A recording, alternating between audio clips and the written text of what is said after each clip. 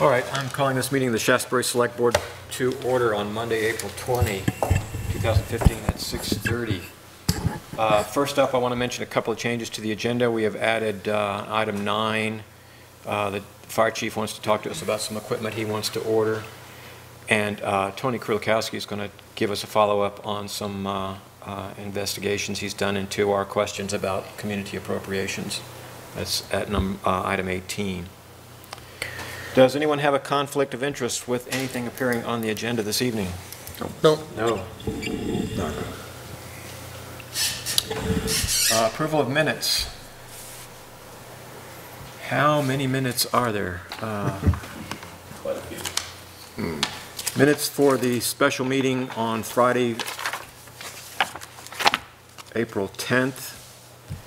I move we approve. Is there a second? Second. Any discussion? All in favor, say aye. Aye. Minutes are approved, 500. Do I have those? uh, They are, that'd be the uh, second to last. yeah. The file starts with uh, March 2nd. Okay, I just started at, what was at the top of my file?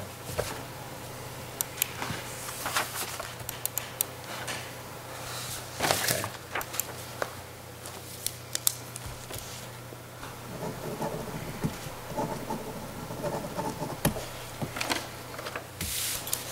All right, I'll go through this list then. Uh, Minutes for Monday, April 6th, regular meeting, I move we approve. Second. Seconded by Mitch. Any discussion? All in favor, say aye. Aye. Aye. Approved, 500.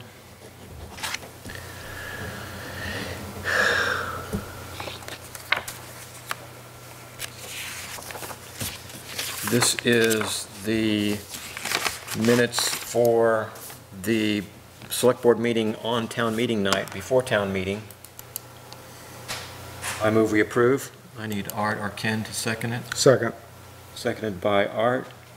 Any, dis- oh, let's see, no, it's uh, Tony or Art that are, were there Right. with me. Okay.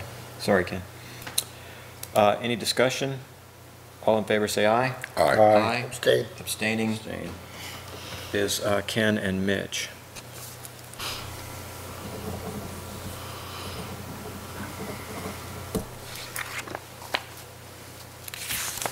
Minutes for town meeting on March 2nd. Okay, that was, okay, okay. Same Town thing. meeting, I move we approve. Second. Seconded by Art. Any discussion? All in favor, say aye. Aye. Abstain. Passes 302.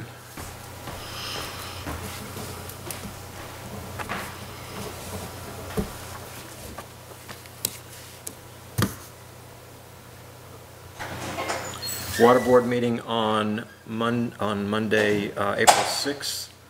I move we approve. Second. Seconded by Mitch. Any discussion? All in favor, say aye. Aye. Aye. Passes five zero zero.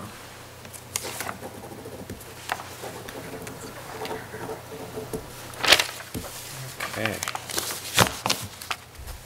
Judy will be so happy.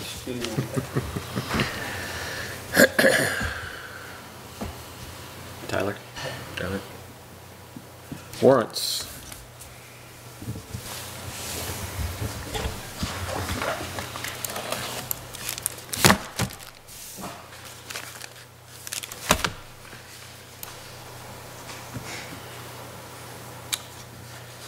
Check warrant number 21 in the amount of $32,435.56. I move we approve. Second. Seconded by Mitch. Items over $1,000. Uh, 1,200 to wholesale distributors. Do you know what that is, David? We'll have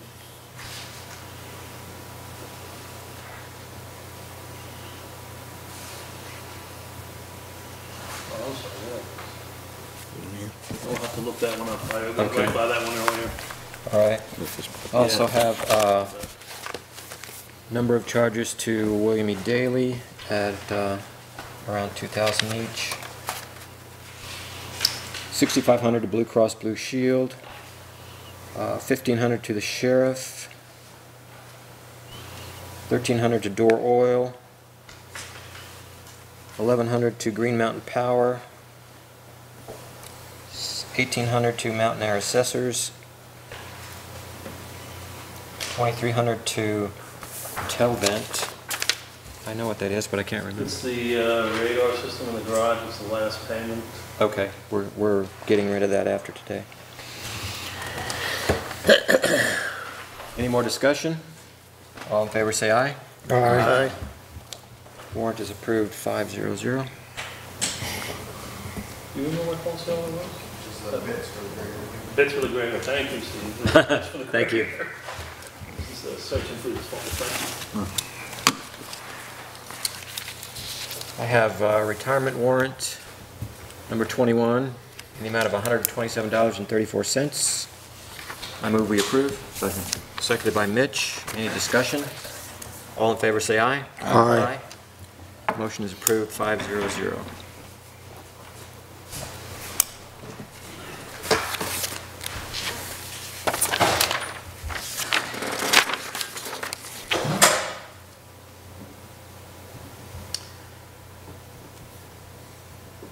Payroll warrant, payroll warrant number 21 in the amount of $18,773.15. I move we approve. Second. Seconded by Mitch. Any discussion? All in favor, say aye. Aye. Aye. Aye. Motion passes 400. Ken just stepped out. Looking for an abstention. Uh, Just do 400, yeah, abstention is a little more formal than absent. Yeah.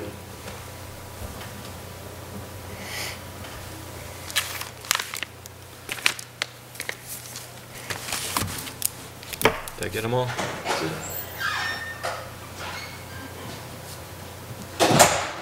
Ken, we passed a payroll warrant while you were out. We trust your uh, approving. Are there any announcements? Yeah, just the uh, Ordinary Heroes Day at the Shaftsbury Historical Society is going to be May 30th, Saturday, May 30th, and I hope we can uh, get a lot of people attending. To get that on my calendar. There'll be more coming out about it. Yeah.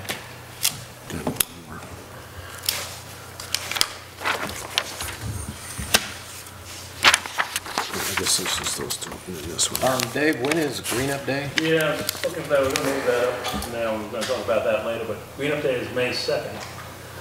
Uh, There will be some changes this year. Uh, Karen Mellinger, who had been running it for, for a number of years, uh, will not participate this year. Uh, We're not going to be able to do some of the things that, that she had done before.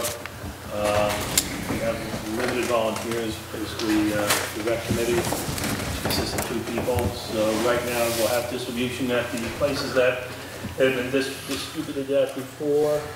The bags will be available, and I'll start posting these. I got these from Karen today. We'll start posting where the bags will be available, which includes uh, Whitman's Feed Store, Paulin's, the Clearbrook Farm, Town Office, the Shaftsbury Landfill.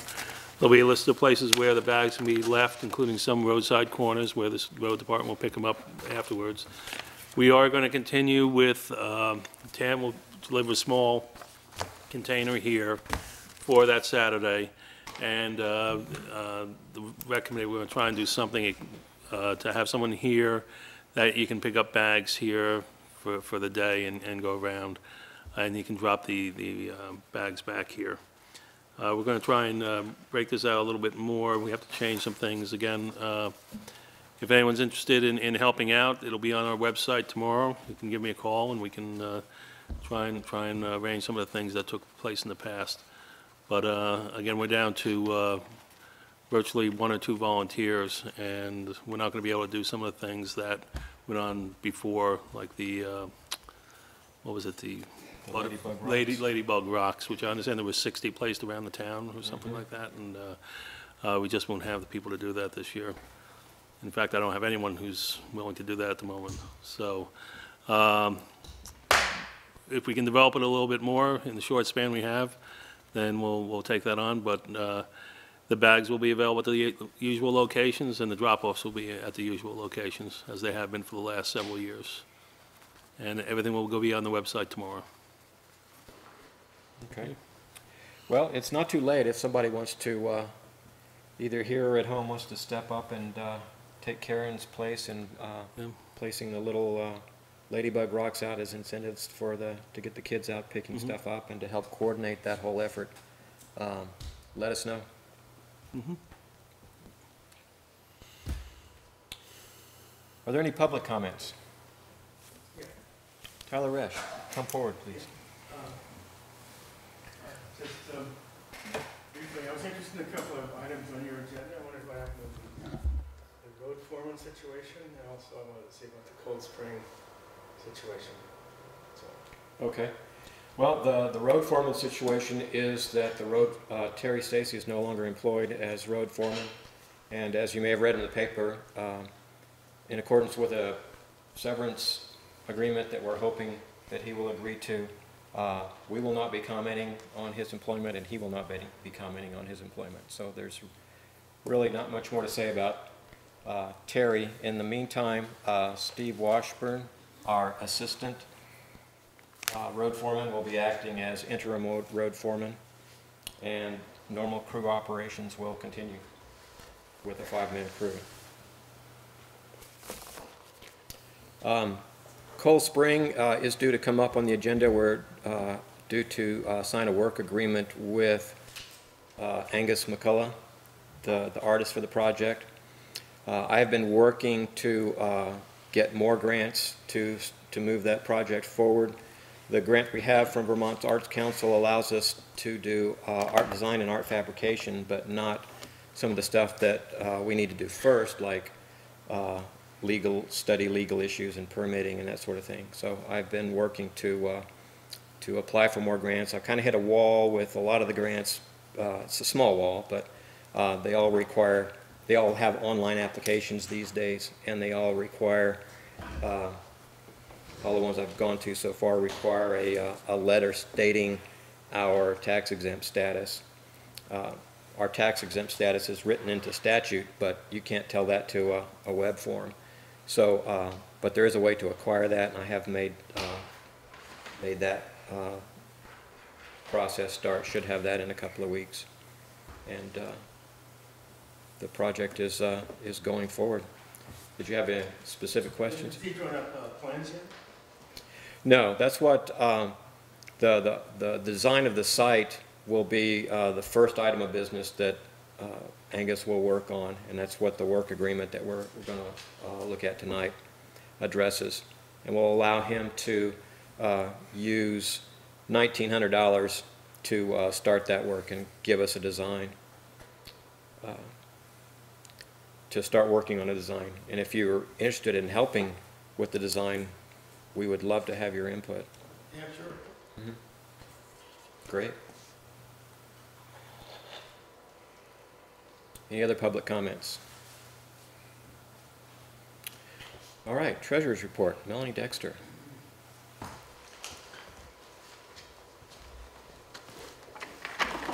Welcome. Thank you. Um, I've been uh, digging deeper into the numbers than I had at the last meeting. Um, I I don't think anything has changed, nothing substantive has come up to change the picture for the uh, projection to the end of the year. Um, So we're right, we're still on track to uh, finish very slightly ahead of budget. I think that's pretty much what you've been hearing, and it- it looks like that's still, that nothing has happened to change that. Okay, so we know we're over budget on highways, but we have other savings that we're Yes. anticipating will make that up and Yep. keep us a little bit ahead. Great. And there's still some revenue coming in that, you know, it, there's, there's a margin of error around everything, but it, it looks pretty good. Um, Something, we could still have another snowstorm, you know, but uh, There's right snow in now. the forecast for Wednesday. Right, Steve probably knows that. Um, so yeah, right now it looks like pretty much what the, the picture was a couple weeks ago. It's still looking the same. Okay. Any questions for Melanie? I bel- um, uh, We're, the next task I know is on the horizon at some point is setting the tax rate. I guess that's, uh, we typically do that in August, I was being reminded today. Yeah. So, uh, just letting you know that I thought of it. Yeah. I've been hearing, hearing rumors about that, yeah. That, that should not be hard, that's really just a matter of making sure we have the latest grand list value and, uh, the budget number, and that pretty much divides out, so. All right, well, thank you. Thank you. Road foreman report. Steve Washburn, welcome.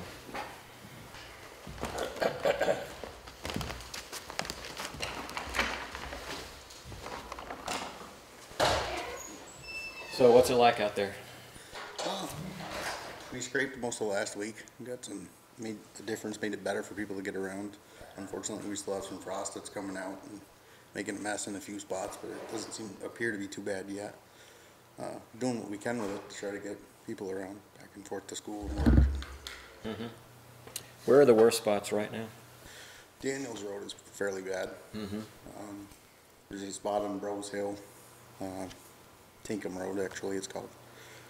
By, actually, the Bro entrance to the farm, it- it's kinda humped up a little bit there.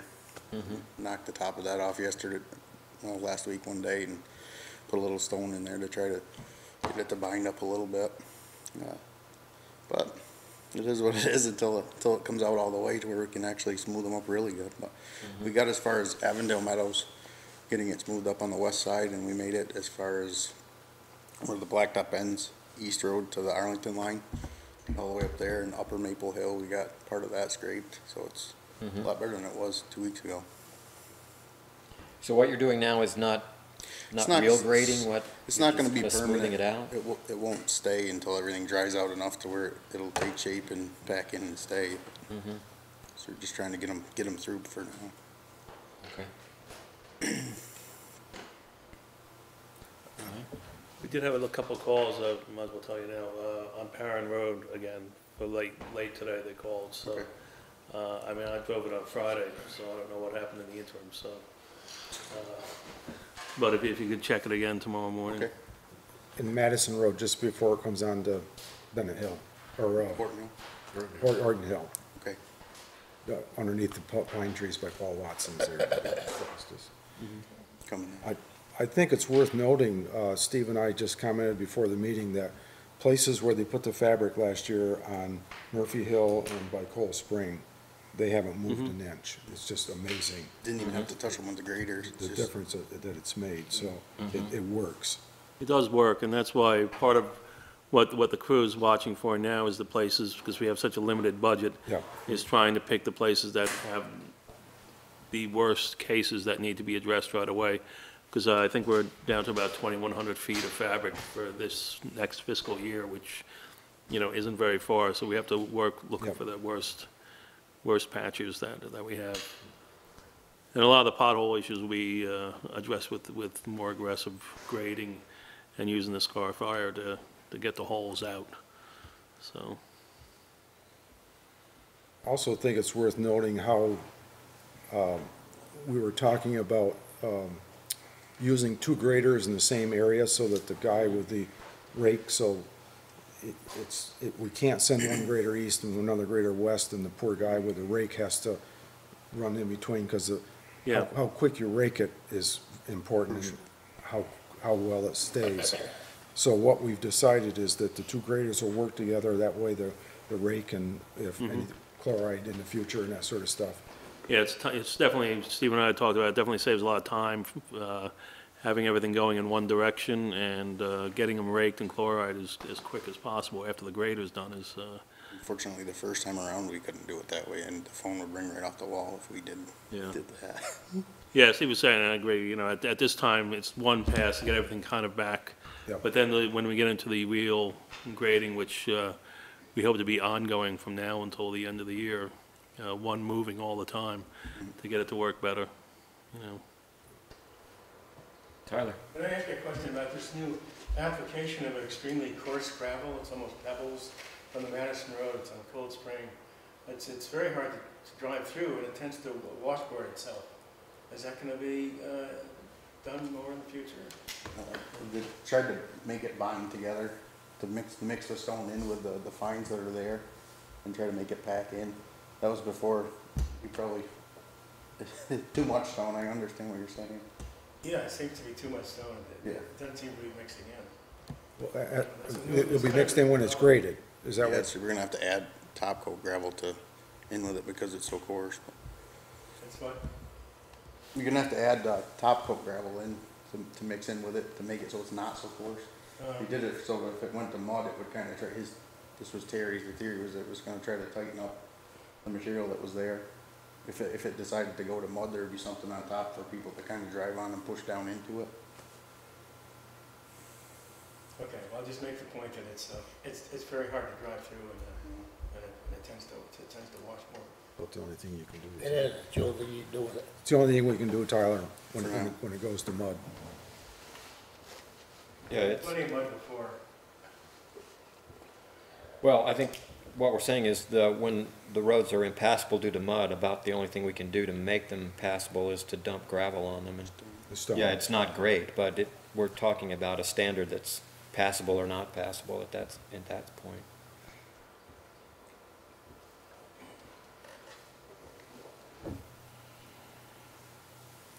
Any other questions, comments about the roads? No, uh, we- we're working on Steve getting settled in, uh, just going over a lot of the different things, cleaning up a little bit and uh, just getting reorganized to get going. Um, We do have the uh, license for the RSMS 11, which will do budgeting and road planning that that Steve's going to get involved in with me. Uh, And we're all getting up and running. It's going to take a little, couple weeks to transition here, but uh, we'll be up and running with uh, new plans very soon. Yeah. Well, the first thing we'll be asking you for, uh, one of the first things we'll be asking you for is a list of, of road projects for the summer. As David said, we've got budget for maybe 21 feet of, um, 100 2,100 feet of 2,100 of please. rebuilding, 21 feet, yeah, of rebuilding. Uh, And so we'll want to target those, those worst areas, and we'll be looking to you to tell us Okay. uh, where those are. Some, some of those areas, Tim, that are bad right now, you might wanna figure that if you're gonna rebuild them in the summer, you might wanna put in French drains in there too, if there's really a lot of water. Mhm. Because the fabric is great, I don't dispute that a bit, but you've gotta get rid, if there's a lot of water underneath, Gotta get rid of it. you gotta get rid of the, well, you know that anyway. Um, Question I'll, I'll ask all of you guys who know stuff m- more about me than roads, but uh, Dave and I are reading uh, some places that say uh, the, the gravel base of the roads, including the fabric, um, is, uh, has a lifetime of 20 years. And I know, I, I've been told that we have roads in, uh, in the hollow, for example, that were, uh, the roads were laid without a base. Do we know that to be true? I, I wouldn't doubt it. I can't, Well, what they used to do, Tim, uh, good examples of East Road. Um, What they would do when they widened those roads, because most roads, used to have a stone wall on either side, and the road would be actually down in a hole. And to raise them up, they would take the stone walls on both sides and just put them in there. And then you build your road over that. But they wasn't, I mean, fabric has only been around for, I don't know, maybe twenty years. I know Horton Hill was done that way. I can remember trees and everything on both sides, and it was just, one day it was just all pushed in the middle, and then they started building on top of that. And that's what, what it does cause a lot of problems with a lot of the roads, especially it has, especially when stumps are put as the base of the road and they break down. You know, you have a sinking roadway and And big rocks in big, there. yeah, big rocks, and then it becomes difficult. You have to really build a base over the top of all that. Once it blows off and gets scraped off over the years, uh, you're back to the big rocks that are impossible to work with. And of course, the stump's rotting away and the roads are just caving in. So there, there were a lot of issues with a lot of the roads that are being caused by that, I think. And up through the hollow, yeah, if, it- if they were done that way, we have to put a base in and, uh, get it. But a good example of where it worked is up on Murphy Hill, where it's very smooth, you crest the hill and you, you hit mud. Um, But again, Eric, Eric Road is a good example, Eric Road, yep. Perrin Road. Yeah, Karen, the fir, the first part. Uh, and those are the things we have to, we have to plan out with, uh, what little we have. Not to mention our twenty miles of paved road that need to be addressed too. So we, we need to look, look more into uh, the next budget year for increasing some of these things. The, oth- the other thing, David, too, is that Route seven A is just like a divider of the town. On the west side of town, most of, everything over there is either clay or slate gravel. And slate gravel's second cousin to clay. Mm-hmm. And everything on the east side of town is more granular glacial stone. Hmm. So you're gonna have more trouble with the west side. Sounds about accurate. Been doing it all my life. Yeah, Well, just one thing I was realizing when we were talking about that, if, if that's in fact the case, if roads, the road base has a twenty-year lifetime and we've got fifty miles of gravel road, um, we should be laying two and a half miles of fabric a year. Or laying a half a mile of fabric a year, so, uh, and that, that's the thing we're gonna have to look at is, is at some point, we're gonna have to increase the amount we're doing just to maintain. Uh, Increasing the maintenance will keep the roads that we have from, from getting worse, and the roads that are working, though, it'll extend their life. But at some point, we're gonna have to increase the capital expenditures to start catching up on where we're behind. And it's not just the gravel on the paved roads. Uh, I've got a small estimate, or, or large estimate for a small section of Harvest Hills, and, uh, we need a lot more money for paving. Uh, because most of those paved miles are our responsibility. And, uh, paving is expensive. I mean, for a town or something, we have twenty miles of paved road, that's our responsibility, so that's, you know, a lot of miles, and a lot of it hasn't been done in many, many years. Uh, one way might help some, Dave, is Bennington a couple of years ago. They just took a milling machine down there and they turned about probably a mile of paved road into dirt road. And left it. Left. Yeah, A lot of towns are doing. I'll leave that decision up to the board, I'm not gonna mill. Well, no, but I mean, I just. I, I just, Well, that's what we Because did, paved that's what we road's did way with the more State Park expensive. Road, well, that's what they Right. did with the State Yeah, Park Road yeah, last the year State too, they Park Road. reclaimed it and smoothed it out, it's no longer tar. yeah. Yeah, it's just. But there are political issues with that, people who, uh, paid to live on a paved road, Yeah. uh, might not want it turned into. Suddenly they dirt, wake up one morning to a uh, gravel road, there might be a little, Depends on how bad the paved road is. yeah, but on the other hand, it slows the traffic down.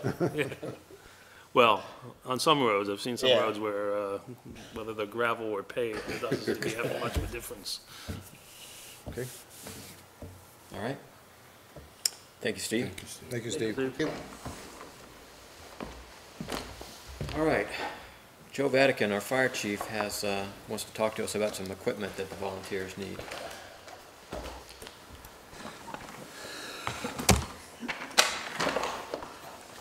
I've got s- several proposals um, for some equipment that we'd like to purchase. Um,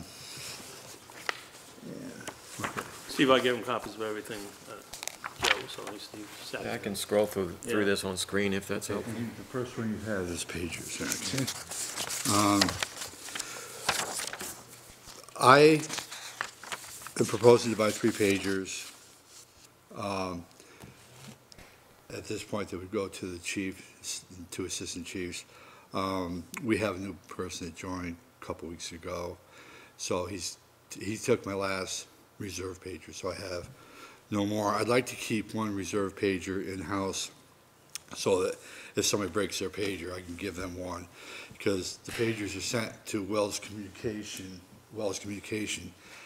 They don't fix them because they're under warranty, factory warranty, so they're sent to California to be fixed. So there's a lot of lead time from when I have them, uh, given to be fixed and getting them back. So what I do is I give them my reserve pager and then, so this will give me another reserve pager and, um, kind of keep ahead of the pagers so that we don't all of a sudden have ten or twelve that are no longer usable and then we got to spend some really big money. Um, this also comes with a, a three-year warranty plus a one-year warranty that comes naturally with the Patriots. Uh, um, I think that's on there someplace. Yeah, three-year extended service warranty, charger, and um, that's about it. And so, you see that the cost is uh, $428. Cents for each pager. Mm-hmm. So that's, that would come out of the uh, communications budget. Right now you said, uh, for you and the assistant chiefs, this is to replace the pagers that you have? or- It would, it would, it would give us a spare, I would take my pager and I would use it as a spare and then we'd have two more spares for the time. Oh, so you only have one pager right now? I only have one pager in Oh, spare, and actually, I don't have any now, because the young man that joined a couple weeks ago, I gave him my last pager, so. Okay. um, So, um, do all the volunteers have pagers? Yes. Okay, Yeah. so you're just needing three more to, Yeah, to just three outfit more everybody? to add I to got what you. we have. Okay. If, um, I have a pager that's past its warranty, and something happens to it, it's not worth fixing, because sometimes it's pretty costly to fix, then I would have another pager just to put into, uh, service. Um, Just in case, uh, I'm the only one that didn't know this until today, but I looked it up, and the, the thing about pagers is, is they operate off satellite signal, not off a cell phone tower signal, so it's not good enough to, to have a, to call everybody's cell phone when, when there's a fire going, because, uh, cell phone signals are not reliable. Pager signals are. Okay? Um, the next one float dock strainer. Uh, float dock strainer, where I, what I'm proposing is to replace two that we have currently on two of our older trucks. Um, this style that we have now is relatively new. Um, the latest truck we bought, I bought this type of float dock strainer. And the difference between this, uh, piece of equipment and the old styles, the old style kind of came apart. It was very big and bulky, and almost a two-man project to try to use it. Uh, and it also didn't work well when you put it in the water. If you had- didn't have it just right, it would suck air and create a vacuum within the pump and not uh, produce a good flow or a suction for the fire pump. Can you back up and tell us what, what this is used for?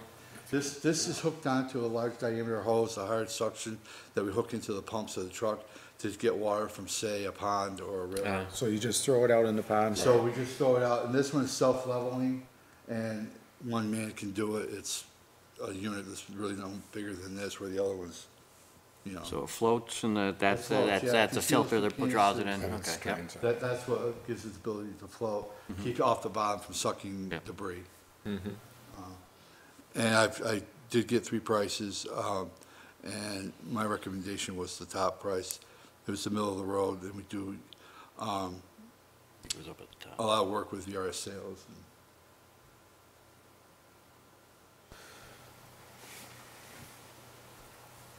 Your recommendation is uh, The VRS VRS? sales quote, like I said, it's, it's about, it's the lowest price, and we do a lot of work with them. Um, I actually contacted the company itself, Kochek, which makes this type of strainer, and they were the most expensive, which I couldn't quite figure out. And 1,500 is the cost for two of them? Uh, yeah, fourteen ninety-six, yeah, fifteen. Okay. All right, and we have budget for that? Yeah, everything I have here is within my budget. Okay. Yeah, there's nothing that, in fact, we'll still have some, um, room under my budget, uh, after we're done with these purchases. So if we can move on to the next one, which would be, Is there any reason, the old, old one bulky ones, are they just like, just ready to throw away, or can you say give them to, sell I them to another? I don't see anybody wanting them. I mean, I, I wouldn't throw them away. You know, if something happened to one of these guys, you can certainly use an old one I was temporarily. Like one of the local, other local, If somebody wanted them, I'd be more than happy to give them away, absolutely. I, I would put that out there. Uh, There's no need for them to sit in the back of the firehouse, but like I said, I definitely wouldn't throw them away. Um, Turnout gear. Now, I've, I was pleasantly surprised by the prices that I got for turnout gear. Um, And my recommendation was, um, at first, because I thought budget-wise, I could only afford to buy two sets. But as I looked through the prices, I was able to kind of um, figure things out and, and get a list of guys who I thought need re- replacement gear now. Um, I was able to come up with three sets of gear and one coat. Um, and um, you can see the various prices from the dealers. Some are quite a bit more if- than the other two. Um, And what we did is about 10 or 11 years ago, we received a grant from uh, FEMA, and we were able to buy new gear for everybody. It wasn't the best gear in the world, but everybody was able to get gear. And um, at about forty thousand dollars. That gear is now starting to, to wear, and I've been trying every year, a couple of sets, just to keep up with it. And this is just an ongoing program, I, I would say, to, uh, to replenish that gear. Um, NFPA suggests that gear be turned over every five years, but that's not practical for us. We don't have that many fires or that many calls. And the gear that we do turn over is mostly just interior guys, so that's even a smaller group of guys. Guys that run the pump panels or, or direct traffic don't need brand-new gear, and theirs are more than adequate. So this is mostly to replace gear for guys that are interior and, um, or fighting fire directly, so. um, So, uh, as I said, the price, uh, for coat and pants, um, for various sales was one thousand eight hundred and twenty-five. Reynolds and Sons, which was Firedex, um, was two thousand five hundred and fifty-six. And then, um, Globe, which is kind of one of the industry standards, Globe's been around for a long time, it's a, it's a well-known gear, um, came in at sixteen sixty-seven. Um, and when I had a, a meeting, I thought that was gonna be the most expensive, it ended up being the cheapest, so, um, I was surprised there. Um, if we went with the Globe, with the, the three firefighters I had mentioned plus the one coat, it would be just about six thousand dollars, it came out to five ninety-nine ninety-seven. And again, that would be well within my, my budget limit of, uh, equipment fund. You guys so choose to go that way. Um, it's just the coats and pants, it's not a helmet and boots, they're, we're all set there. Okay. Why is there so much difference in that? Is, uh, is all in different unit, uh, different places, different, the same equipment? No, they're not the same. Uh, last time I came here, I can't, I gave prices on the same ones, and I was told that they, it was preferred that I give prices from dealers that were local. So that if anything happens, they didn't fit, we have somebody to go back to. Um, You know, so, these are all local, I say local, they're within an hour of here, you know, I, I know all these places. So, um, if, if the pants don't fit because they were measured wrong or, or whatever it may be, we could go back and say, listen, this isn't right. Whereas, What I'm saying, Joe, is you, the twenty-five hundred dollar one, i- is, is that equipment good enough to be that much more money than the, the sixteen hundred dollar? I mean, I don't wanna buy equipment that's not gonna keep a man safe in a fire. yeah, I've looked at all three sets of gear Yeah. and I think that, I mean, maybe you can make arguments for your own gear if you're a salesman, but I think they're all, um, comparable. Yeah. Um, I'm not gonna say for sure that one's better than the other, but for a thousand dollars, are you really getting what you paid for? Yeah. So that, that's my only thing. Yeah, well, like I say, I, I wanna make sure them guys are safe when they're in a fire, as safe as they can be. If you go with the Globe, I've seen Globe in use by the North Bennington Fire Department. Yeah. Uh, Their whole department has it. Um, They received a grant, and that's what they bought, and they're very happy with it. Right. And Um, It's holding up well. and- Globe comes and measures the individuals for the come measure, sizes. that's why they, they take the responsibility. If I went with just, say, you know, Globe and got three prices, one may be from a dealer, but the other two would have to be online because the dealer, this is his area. I can't go to Rhode Island and say, come on up, even though, you know, you sell Globe, because you can't cross in each other's territory. So, um, you know, so they're gonna measure and they're gonna take responsibility for their measurements. If they're wrong, then it's on their shoulders. Do I understand correctly, Bergeron is the, the dealer and Globe is the deal. manufacturer? Yeah, Globe is the, is the, the gear, Firedex is the gear, um, and Ricochet Air the- is the gear, and those are the salesmen, VR Sales Reynolds and Bergeron. Okay. Is that it? There's one more, is an extrication pump. Yep. The Jaws of Life pump? This is the pump, I, I- I mentioned it once before, a while back, months We're ago. doing our budget. I think. Um, And Dave and I sat down and tried to figure out where we could get the money from without going over budget and, you know, not straining us without money within our budget. My first idea was to take it from the reimbursement fund, that's why it was created, to replace extrication, um, equipment. But then David and I talked, and we realized that if we order this right, we could pay for it from our budget this year and then our fiscal budget of next year. That would save that money that's in that reimbursement fund for more emergencies or something may come down the future that we don't know about. Um, Well, this is in FY sixteen, which, uh, is budgeted for FY sixteen, which comes available July one, but you're saying you want to get it now? I, not today, if we ordered it a, a month and a half from now, it's certainly fine, you know, but if we could, if we paid it from two different fiscal years, it wouldn't be a burden on either year, like ten thousand dollars, um, almost. And, At one point, you were talking about two pumps. and there's, there was, yes, some ideas there, but, you know, for now, this is gonna do well for us. Um, we've got some other ideas for later on, maybe in a year or two, uh, where maybe that reimbursement would come into play, but would be a burden with the taxpayers. But this is, you know, what we're thinking right now. Um, this would, this would get rid of that old worn out pump, um, and give us the ability to use all our tools at full capacity at this point. Is, is this, I mean, is it, are, are our tools, I mean, this is a brand-new pump, obviously, it's newer than the tools. Are the tools calibrated to handle a pump like this? Actually, the tools are new. Okay. Yeah, we bought the tools a couple of years ago. So the the tools, are- it's kind of like hand in hand. Now, we couldn't afford everything at one time, so we bought the tools. Now we've- we're buying the pump to So help. they're out, they, they're, Yeah. they're spec'd out for this Yeah. pump. You're not gonna get on and something and just blow the whole tool out of hell. No, no, no, that's- no.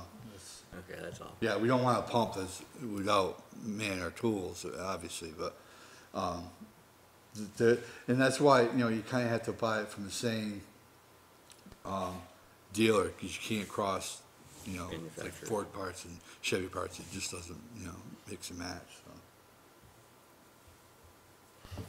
And this is also because we need, we, it's more ordering in advance, because it's not gonna be like delivered tomorrow, Right. you know, so it, we need the money from fiscal sixteen that we had budgeted for extrication equipment. It's more like to get the order in, because we w- want permission to do it now, so that we can get it on time. And we'll tell them when we want it delivered, we'll give them a delivery date, whatever's convenient for us. Okay. Yeah, not a problem. If this is within their budget, you don't need a motion from us then. Um, typically, we pass motions for all large expenditures, Okay. but, uh, uh, just in terms of, uh, identifying vendors and that sort of thing. Okay? Uh,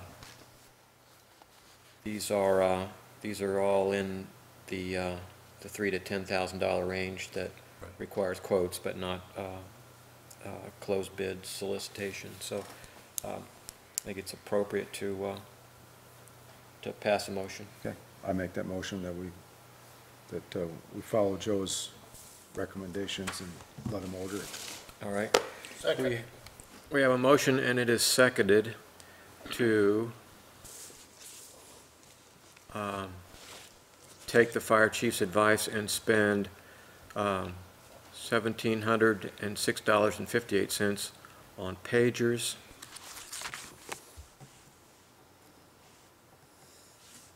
Uh, $1,496 for two float dock strainers.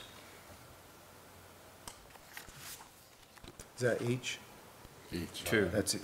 Does that's that's for two, Fourteen hundred dollars is is for two. for two. for two, or is it? For two. Yeah. Okay. And $1,667.91 for turnout gear. No. No. Five thousand nine hundred Yeah. I- I, I broke it down so you can see how. Oh, there it much is. Per Yeah. That would be the total for, Okay. $5,999.97 for turnout gear.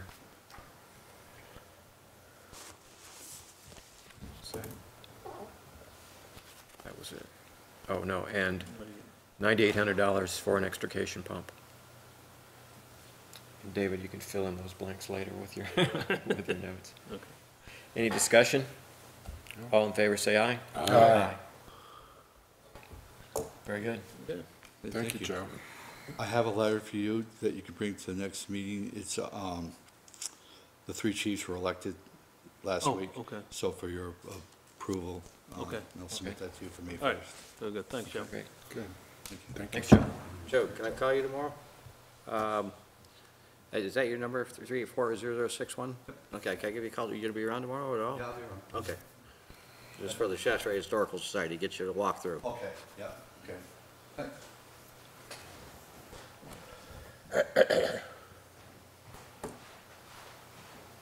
All right, item 10 is the uh, artist work agreement for the Cold Spring project. I uh, was negligent once again and just got this out today uh, to the distribution, but we can read through it. It's not very long. It says, "Agreement for art design and fabrication services. This agreement confirms the engagement of Angus McCullough by the town of Shaftsbury, Vermont, for art design and fabrication services for the Cold Spring Historic Site project. Angus McCullough, working under the direction of project leader Tim Scoggins, will provide $15,000 in art design and fabrication divided as follows. That's the entire Vermont Art Council grant, and it will all go toward art fabrication and design. Uh, $4,800 in art design fees and uh, $10,200 in fabrication and installation cost. This agreement sets design fees for the first phase of the design work. Subsequent agreements will set fees for later phases of design and fabrication. This is to get us started with uh, some sort of design to uh, uh, be able to say what this project is going to look like. Uh, Some of the things that uh, Angus and I have talked about as far as what the art might be, uh, perhaps a sculpture that is uh, reminiscent of the the pipeline and the water distribution system at Cold Spring. Another idea we've kicked around is maybe something inlaid in the ground that shows pipe distribution. That's, um, that's just where we've gotten so far, and so far, we're just really brainstorming. So um, really, we don't know what this project is going to look like yet, and that's what uh, some of, what his art design fees will do in this first phase. But we do know we would like to uh, uh, create a, a place that commemorates the history there, uh, allows people to step off the road and uh, see the springs flowing, and if uh, the permit gods allow, to, uh, to drink the water someday. Um, Certainly, you can go there now and drink the water, no one's going to stop you, and I do that regularly. But uh, if we turn it into a park, there will no doubt be, uh, be issues there. The agreement goes on to say, at the direction of the project leader, Angus McCullough will provide services that include site maps and drawing. One thing Art, uh, Angus has already done, uh, without being paid for, is he's taken uh, uh, the 1865 survey of the pipeline that I got from uh, Joe McGovern, and he's overlaid it on a map. So, uh, Art, you were talking about following where that pipe goes and uh, looking, uh, making sure that everyone along the route is, is aware and knows that their rights will be protected. Now we can do that because we have, we have, we can see where that goes on a, on an actual map. Research the oral history of the site and interview with neighbors. Uh, Concise, elegant drawings of the proposal, hand-drawn and CAD and otherwise. Site models, multiple sketch models, and/or presentation model. Begin sculpture and fountain design. One or more photo renderings of proposed project. Three-part booklet of site history, design precedents, and proposals. physical model, create material for press purposes or fundraising to be done by the town of Shaftsbury. Lead neighborhood meetings, design charrette, which is a new word for me, but that's when, uh, when artists brainstorm, they call it a charrette. Uh, Speak at town meeting, etc. Never heard that Um, Expected total hours spent for first phase of work, 50 to 60 hours at $35 an hour, which is uh, 1,750 to $2,100. And he would like to get $1,900 now to, uh, to start work. Uh, I move we approve the work agreement. Do I have a second? Can I have a second for discussion purposes? Second for discussion purposes. Thank you. Discussion. Yeah, um, so is this money, you've already got the grant, we've got, obviously it's been, where is this money? Is it in the town or is it in the reserve fund? It's in the, It's in the town's bank account. Yeah, it's in the town's bank account. I was, I believe, and she's not here, but I believe a, a special fund was created. The money's segregated off the side. It's, it's a separate fund that only this can, only fund, money for this project can come out of. It's not, it's just separate from the town funds. okay. I'm concerned we got the cart before the horse until we find out what the legal ramifications are of somebody else doing something there. As, as Mr. Daly said, there not only are, is there water rights to the water, but there's also rights to the physical property that's there. And when, when we start doing stuff around there, I want to make sure that, that we have a legal that there, that we are doing it legally, and I think the only way you can do that is by getting permission from all the people that have water rights there. That's, I, I, I'm hesitant about, because if I understand it, if this thing is stalled someplace, we owe the money back. Two We do, years. and the most that uh, we're proposing to spend now would be $1,900. And the reason, reason we need to spend this now is because people need to know what this looks like. Uh, If we s- try to do fundraising or uh, get grants, we can, we have a better chance of doing that if we have a more concrete proposal. Uh, What we have now is just what I have, have described. And with $1,900, we can move down the road on showing what this project will look like, get more community support for it, uh, raise those additional funds. Um, What you say is absolutely true, and I'm working on that, uh, but I have to acquire other grant funds to pay for those legal fees. So you don't see that as part of Angus's responsibility, you see that as somebody else's responsibility? Correct. I see that as my responsibility uh, to, or to, to make sure that the permitting and the legal issues are, are fleshed out. But yeah, no, Angus is not going to do uh, legal issues and permitting. He's going to design a space at Cold Spring for us. You're talking about putting the fountain up down there on that too? As I understand it, or am I? Uh, yes, that's what I would like to do, yes. Well, This, this is gonna be a. where does that pipe in, in, that runs someplace, that water, don't it? Isn't there a water line comes out of that? There are several uh, water lines. There's the main water line that goes for a mile down to Park McCullough House. Uh, Several people have water lines there that get their household water from there. And then uh, lots, uh, lots of water continues to flow into Cold Spring Brook and flows down, down the Well, Most of those lines have been there for a long, long time, haven't they? Yes, long time. So you might wanna be pretty careful if you start poking around in there, Of turn course, somebody's water off. of course we will. Well, no, I'm just stating the fact, I guess, or the obvious, you might say. Yeah, I mean, but, I mean, we're not gonna do anything nearly as drastic as Art and Company did a few years ago when they dug it up and filled it full of gravel to make sure that the water continued to flow. Uh, We're not gonna do anything nearly that invasive. I, I just see this growing to be a line item in the budget for the taxpayers to pay for, unless you're gonna apply for grants every year. Uh, you gotta, you gotta, a, uh, uh,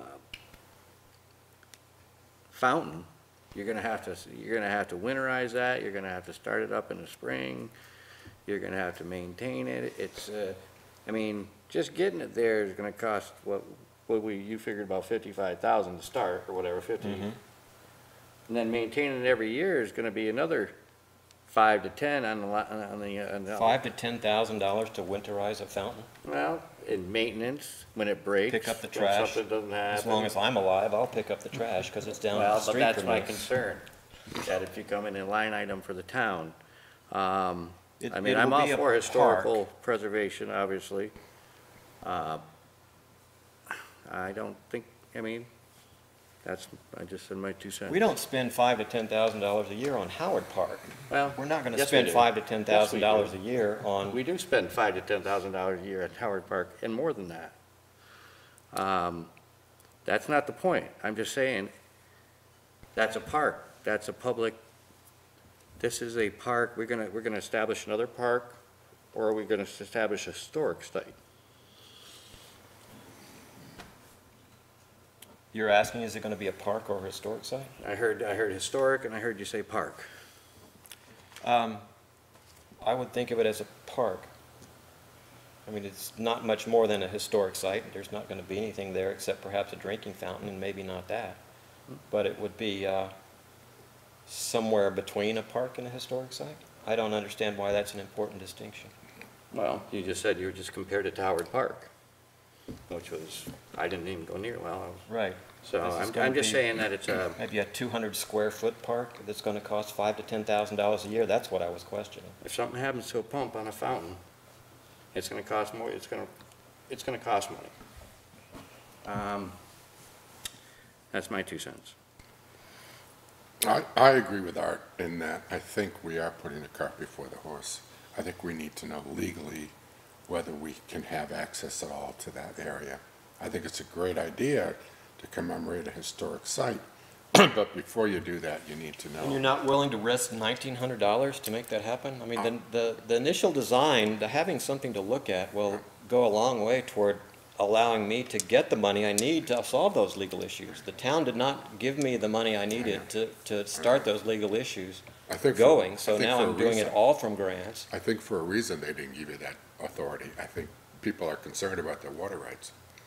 I Well, think there's a that's chicken huge- and egg question here. They want to Mhm. know what it is they're paying for, and I've got to have money to Yeah. tell them what it is I they're know, paying for. I know, I know, I know. All we're asking for here is nineteen hundred dollars.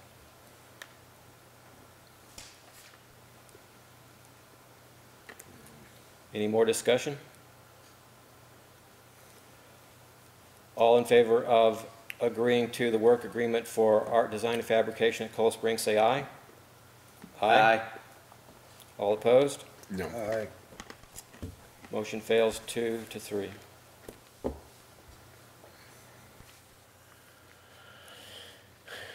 So gentlemen, what would you have me do? Abandon the project? I think put it on hold until you get a legal opinion. And I don't know how you do that with the money. But I think a legal imp- uh, opinion is important before we go poking around. Okay.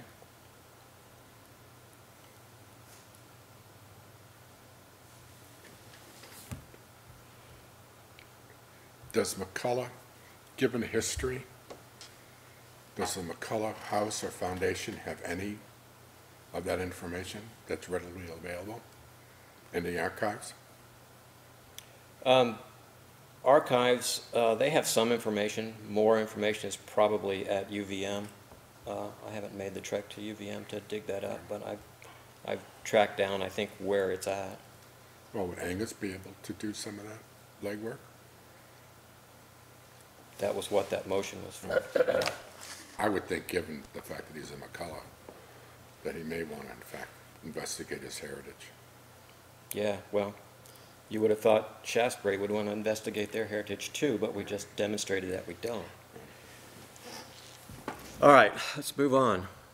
Property purchase on North Road. We have some documents to sign. Yeah, the first thing is a uh, capital improvement note. Th- This is from the last meeting. Uh, The board approved getting the note, $40,000 to purchase the property on North Road pending uh, legal review. Uh, The lawyers changed a couple of words in the resolution. Uh, So it was all redone by People's Bank, and this is just a sign that it's the exact same thing. It's 2% interest rate with no fees involved with it. It's three annual payments of $13,334 a year. Uh, The first payment in 2016, the last payment in 2018. And it's the same documents as last week. This is the note, there's a certificate of registration that'll be signed by the town's transfer agent, which is the treasurer. There's the capital improvement borrowing resolution from the town, same thing. That's what had to be changed, because in the re- original resolution, uh, the law office felt that it sounded like a balloon payment in 2018 instead of three equal payments, so the wording was changed to reflect three equal payments. There's also another form, it's the non-arbitrage certificate, just saying that we're going to use the money for what we said we're going to use it for. And they all have to be motioned and approved by the board. And just so you know, there's tax forms that also the treasurer has to fill out and sign. send in. Okay. But the, the the basic is that it's the forty thousand dollar note to buy the North Road property. It is not traditional mortgage, it's a capital improvement bond, and it's for a rate of forty, thirteen thousand three hundred and thirty-four dollars a year. I believe is the total. All right, I move that we approve the capital improvement note to purchase the North Road property. Do I have a second? Second. Any discussion? All in favor, say aye. Aye. Aye. Ken, Ken stepped Ken out. stepped out, so that motion is passed four zero zero.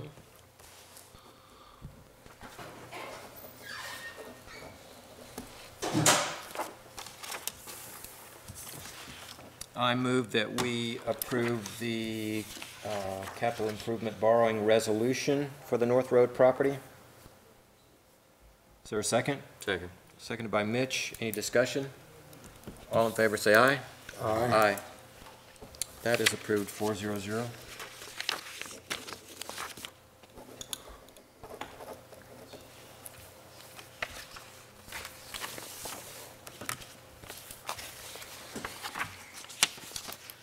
I move that we approve the non-arbitrage certificate for capital improvement borrowing for the North Road property. Second. Seconded by Mitch. Any discussion? All in favor, say aye. Aye. Aye. That is approved, four zero zero.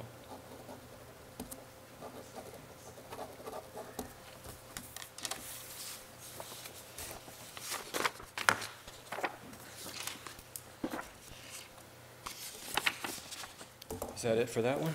That's it for that one. All right. Back.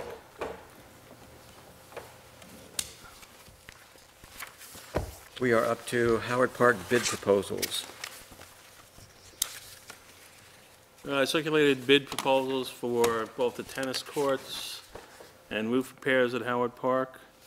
For you to review, if they're approved, I'll put them out uh, by the end of the week on the website and in the appropriate places and contacting a few contractors. Uh, I want to make one change to the uh, roof repair bid. Oh, that's right, too. So if it Um, doesn't sound- And that will just be to add on replacing the fascia boards and uh, uh, s- just a little other woodwork that's, that's damaged. I should have included that in the roof repair bid. In the scope of work, Work, yes, so I'll just add that in there.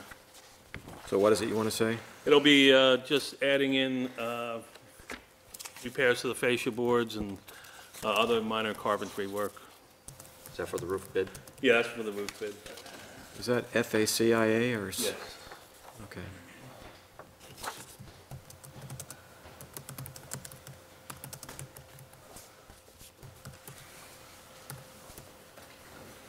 Repair fascia boards and other minor, and Carpentry. do other minor carpentry?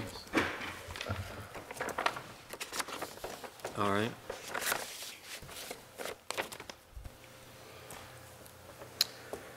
Okay, I move that we approve the uh, invitation to bid for roof repairs at Howard Park as amended. A Quick, is this all the buildings, or is this certain buildings? This is certain buildings. And is that identified in here? Yes, it is uh, North Side Equipment Building, dugouts and concession Okay. stand. Okay. I saw that, I didn't get a chance to read it. Yeah. yeah, Sounds this is- Is there a second? Second. Seconded by Mitch. Any discussion? All in favor, say aye. Aye. Aye. That motion to approve the uh, invitation to bid on the roof repairs passes 500.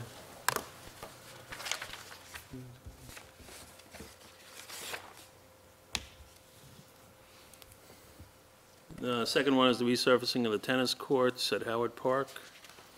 Very specific uh, requirements for the work to be done here. Uh, Cleaning the surface, filling cracks. um, It's going to take a, a- a company with some experience doing this. The courts themselves are very well built in the first place. Uh, They've lasted a great period of time, and- and really with the proper work done now, that will really extend the life quite a bit.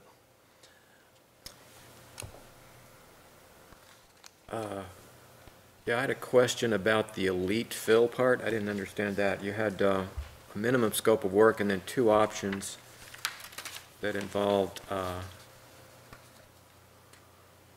or let's see, at least one option that involved an additional bullet about elite fill. Yeah, uh, work to be completed and the following options. Um, There's a, um, this is a difference that was pointed out by when these were first uh, done last year by a tennis resurfacing company that explained that this is the way that it should be done because uh, this difference between the rubberized, uh, where is it again? Sorry, my glasses. The rubberized liquid crack fill and the E330 acrylic binder uh, is a difference that we should scope out and have two different presentations on it. Oh, okay. All right, so we're going to get a, an A and a B. Yeah, well, Quote here. this, this is based on, on the original estimates, because this is all part of the state grant. This is based on the original estimates we, we received from a, a company that does this, from, you know, this is what they do, is resurface tennis courts. And this is a suggestion on, on bidding formats to get the right, right things and the options that you want. Okay. So that elite full would do more than just do the crack, it would do another seal on top of that. Yes. On the top of everything three Yeah. times, and that'll be then, Yeah, it's, it's, this is more than just filling the cracks in and brushing it off. This is gonna be, there's this, there's a way to seal a tennis court and then line it properly, and there's a type of paint, an acrylic paint you use for the lines. It's not, you know, like lining a street. It's, uh, it's a different type of material, which is why this is, is a little bit expensive. But it'll preserve the, the court for a long time. motion to accept the request for bids for the resurfacing of the tennis court at Howard Park. I played tennis this whole life. Second. Any discussion? All in favor, say aye. Aye. Bid request for resurfacing the tennis courts is approved 500. The other thing that I'd been talking about with uh, um, a member of the Lions Club, if they're interested in being involved in some of the projects there, uh, I think Mr. Harder will be speaking at the Lions Club tomorrow night on these things. Uh, There are things, the electrical work, which is an original estimation of $3,000. He's informed me that they have people who might be willing to do that. We would cover uh, electricians. You know, we would cover the, the permit fee, and this is my preliminary discussions with Mr. Hardy. We would cover the permit fee, the rental of the hoist truck, and um, any electrical equipment they need. But they would do the work voluntarily as member of the Lions. Um, We've also talked about the basketball backboard and rim. Uh, There was discussion of, of repainting those or something, and uh, they're not, they're not very good. So what I would do is go forward with buying the equipment, and again, they volunteered, or they proposed to volunteer to, to take down the old ones and install the new ones. And again, any equipment cost involved in that we'll just pay for, and uh, they'll do it as a volunteer project. They've also volunteered to do painting, or have proposed, one of the proposals, to do painting. I asked him if he would stop at the rec meeting, uh, committee meeting next Monday, excuse me, to discuss this with, uh, with the board, with the rec board. Uh, The other things that were on the original, the trail camera, because we would be saving some money with the, uh, with the volunteer labor from the Lions, we can, might be able to upgrade the security system. I also talked with Mr. Hardy about the front gates uh, as a project of doing something with those because they're, they're pretty bad. Uh, Even the sign at the front, and uh, that's why I invited them to meet with the rec committee next week so that we could go through and all be on the same page.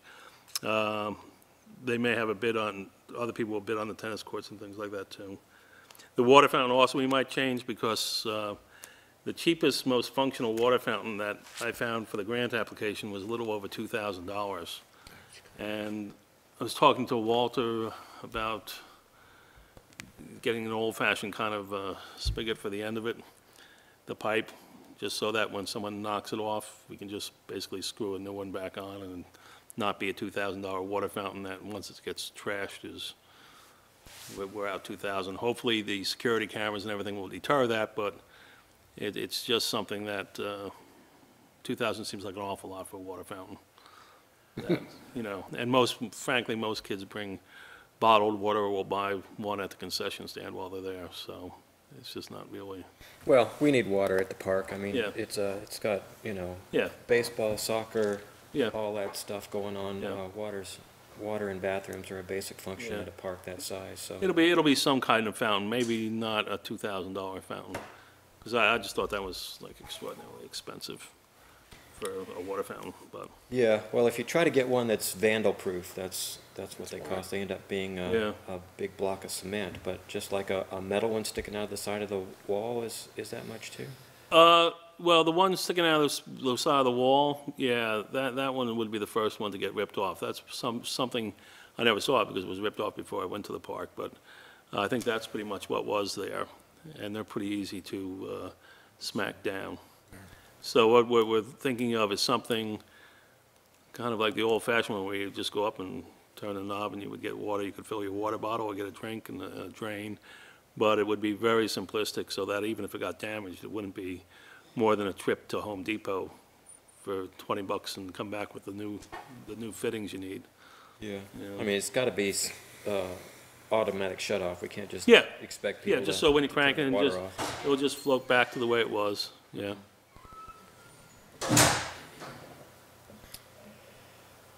Uh, I don't know, I mean, are we really that afraid of the water fountain getting knocked off that we're not gonna put another one up?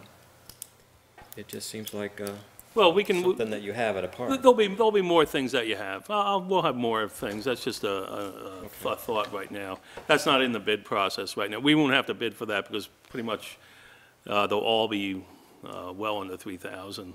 You know, this is the highest I would ever go, two thousand for a water fountain. And, uh, we'll bring in some options, you know, as we get closer to that point. But the big thing is that, that the Lions have offered, uh, you know, a lot of work and, uh, coordinating that end. Uh, The roof work, obviously, is something that we'll have done. Um, And the tennis courts is, it's kind of specialty work, so we'll see who, who bids. But their volunteers are allowing us a lot more flexibility and maybe even upgrading the, the work to the tennis courts. And because we were only getting a ten thousand dollar grant from the state, matching grant, uh, you know, I stopped counting things to do when I hit twenty-four thousand dollars. So I'm sure there's more things to do. We, we can certainly find more things to do. So there will be no money left over from, from the grant, that's for sure. We'll just move ahead and get the bids, and the tennis courts, the time frame could be very late in the year, but once it's done, It's done. you'll have courts ready for, for a long time. Do- Yeah. Do they get used a lot now? I know they used to, in the, like, when they were first built forty years ago or whatever, they were used all the time. Are there teams in town that use those up there to practice or anything? Does anyone know? Well, yeah, I, I I asked about that too. It seems not, nobody really has a good set on how many people do that. I mean, uh, some people I've seen in there occasionally walking up the street during the summertime. I I have no idea the actual volume. I don't know how we would do that, except when monitoring, we might be able to do that. Uh, I have to tell you, and and everybody who's looked at them, the, the quality of the original construction is extremely high. So for, if we, the original estimate from last year was close to eight thousand, so maybe now it's even ten thousand. It's money well invested, no matter what it costs, because you're not gonna replace those for, for anything. Maybe new, with, uh, new netting, uh, new signs and some enforcement of please don't walk your dogs on the tennis courts. Uh 'cause cause I've seen that too, where people unleash the dog and let the dog run around inside the tennis court Because it's fenced in. because it's fenced in, and it's really, you know, uh, unfortunate. Uh, And we're only gonna redo one of the basketball courts with the, with the new things, just see if that attracts anybody to go up there and, and play some ball there. And maybe when pa- when parents come up where other kids are playing soccer, someone will go over and play on a, on a revitalized court. You know, it's, uh, we'll put the opportunity out there, how much it'll be used. I know kids play basketball over here all the time at the school. So maybe with new backboards and things, some other kids will go up to the park and, and play. Maybe, yeah, maybe start a little summer program for kids or something. Yeah, I in mean, the yeah. Elementary school, get them interested in tennis. Opens the thing up and, um, brings it up to, uh, hopefully it'll bring it up to a level where everything is fairly restored by the end of the year. And, uh, then we can look at, at bigger and better things up there. I know that the, uh, the scouts are gonna be working on, on the trail again in a couple of weeks, cleaning up. They're gonna have a camp out in the park and, uh, work on the trail. Uh, So we'll have painted buildings, re-roofed buildings, new tennis courts, or refurbished tennis courts, and, uh, it'll be a different park by the end of the year, so.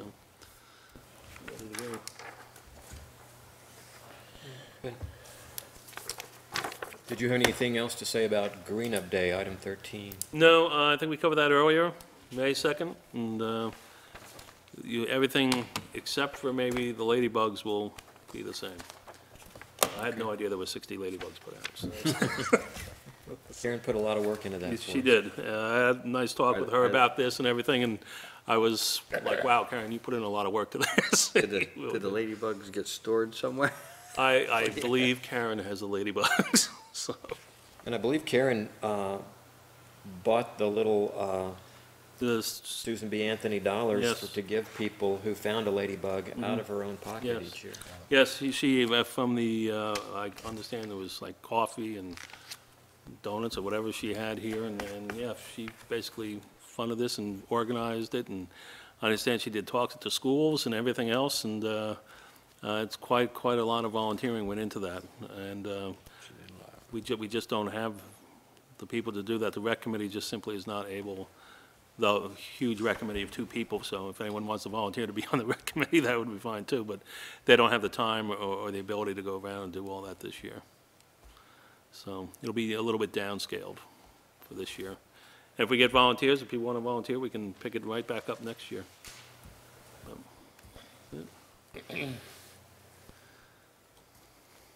All right, item 14, requesting application, applicants for animal control officer appointment. Okay, basically what I want to do is, and this is open to everyone, including our current uh, uh, animal control officer, the town currently has a payment line for an animal control officer, and then we pay a stipend of nearly $500 a month to Reeve Holzer Kennels. Uh, What I want to do is advertise for an animal control officer and look for a competitive bid on a place for, to place the dogs if the animal control officer picks it up. That would be on a, I hate to say it, but dog-by-dog basis. And most of this works by the fact that if our ACO picks up a dog, brings it to the kennel, kennel holds the dog for seven days. If it isn't claimed, we'd have to pay those seven days, so you agree to a rate on that. And then uh, if it can't be adopted out, we'd have to take other action, and we'd pay for that as we do now. Um, If the dog's claimed by the owner, the owner's responsible for the kennel bill, and that all has to be settled before the dog's released. Uh, So I would like to see cutting down on the $500 a month we're currently spending on a kennel, whether or not we have a dog or not. Uh, Also, at some point, when this ordinance was passed, and, and the animal control officer's duties are limited by state law and by our own ordinance, which is allowable under state law, this is all the ACO has to do, is respond to these types of calls and, and take action. Um, Also, at some point, and these forms that I've never seen, uh, there's an animal control incident report. If you- they get all out, you just, the ACO fills it out. We get a copy, so we know what the ACO is doing. I mean, we're paying, we, we should have some idea. There's a dog release agreement. uh, When the dog's released to the owner, it's signed, we know who's paid what. There's a simple monthly report form, just so we have some records of what we're paying for. It. We don't have any of these forms, and we don't receive any of these forms now. Um, And it's just a way of keeping track. Now, uh, in the investigation I've done of other places, there's, uh, you guarantee pretty much like a half hour a day so that the person can call into a dedicated phone line and take messages or listen to the messages anyone's left about it, any animal control problems, and they respond to that. You pay uh, a minimum of an hour if the person's called out, and of course, anything over that. Uh, But there's no monthly stipend as far as a kennel or anything else like that. Uh, I think we should bid it out, and I, like I said, it's open, would be open to, uh, anyone who can provide the equipment, the transportation, and the kennel, uh, we will also work on a con- contract with a local kennel. Uh, There's one in- in Bennington, that Bennington uses one over here in North Bennington. Uh, There's other kennels in, uh, in the area too, or even, uh, the animal hospital may be interested in some kind of arrangement. But, uh, at five hundred dollars a month right now, uh, I think it's time we found out what else is out there. Let's just see. If nothing else, maybe if the arrangement stays the same, uh, we renegotiate what we're doing now. I mean, uh, it's, uh, the only job description was written by the person who has the job, and it's, it has really, it's nice, but this is what we need to do. It's a very limited scope position, and everything else, uh, the town really doesn't need to be involved in or- or pay for. So I think it's just a, a time to move on. I've spoken to a couple of ACOs in other towns and how it works, and uh, every town is different. There's no structure from the state saying you must appoint this and it works this way. Nothing like the health officer that has a bunch of rules. It's either you follow the state law, or like we did, we enacted our ordinance based strictly on the state law, and you follow that. It's pretty simple. You get the call, you pick the dog up, and you bring it to a kennel. It's either claimed or unclaimed. Uh, we really don't need to get much deeper into it than that.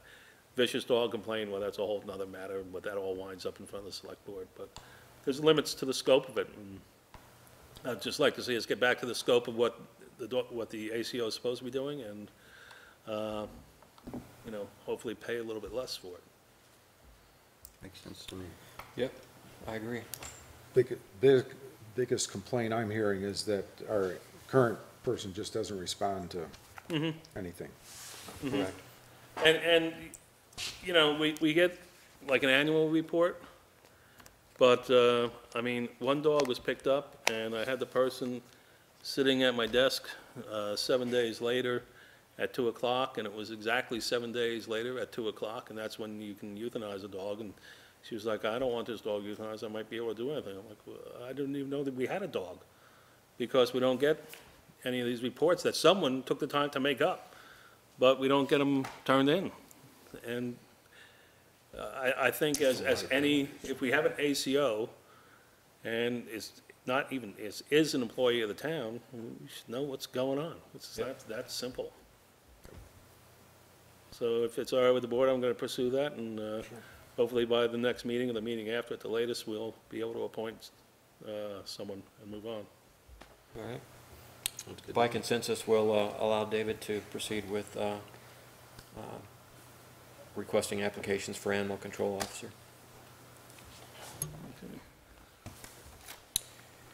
And we're to 15, Town Administrators Report. Yeah, one more thing to sign. We're going to re-sign the annual financial plan for town highways. I was down District One, and we just changed the number, numbers. we changed the format a little bit. It's the same amount of money. Uh, This is actually just the town's budget. We put things in different columns. Just, it works better on on the grant later on. So it's, it's the same numbers. It's just changing that one form that has to be signed by the board. That's basically the town highway budget, seven hundred and thirty-two thousand dollars and, and change there. But on the other one, uh, we had originally discussed putting in the Class Three road grant, the uh, culvert fund, and they said take all that out of there, uh, they don't want that in there. They just base the, uh, the funding out of the actual, uh, maintenance budget. All right. I approve, I move that we approve the annual financial plan for town highways uh, for submission to the state. Second. Any discussion? All in favor, say aye. Aye. Approved, five zero zero.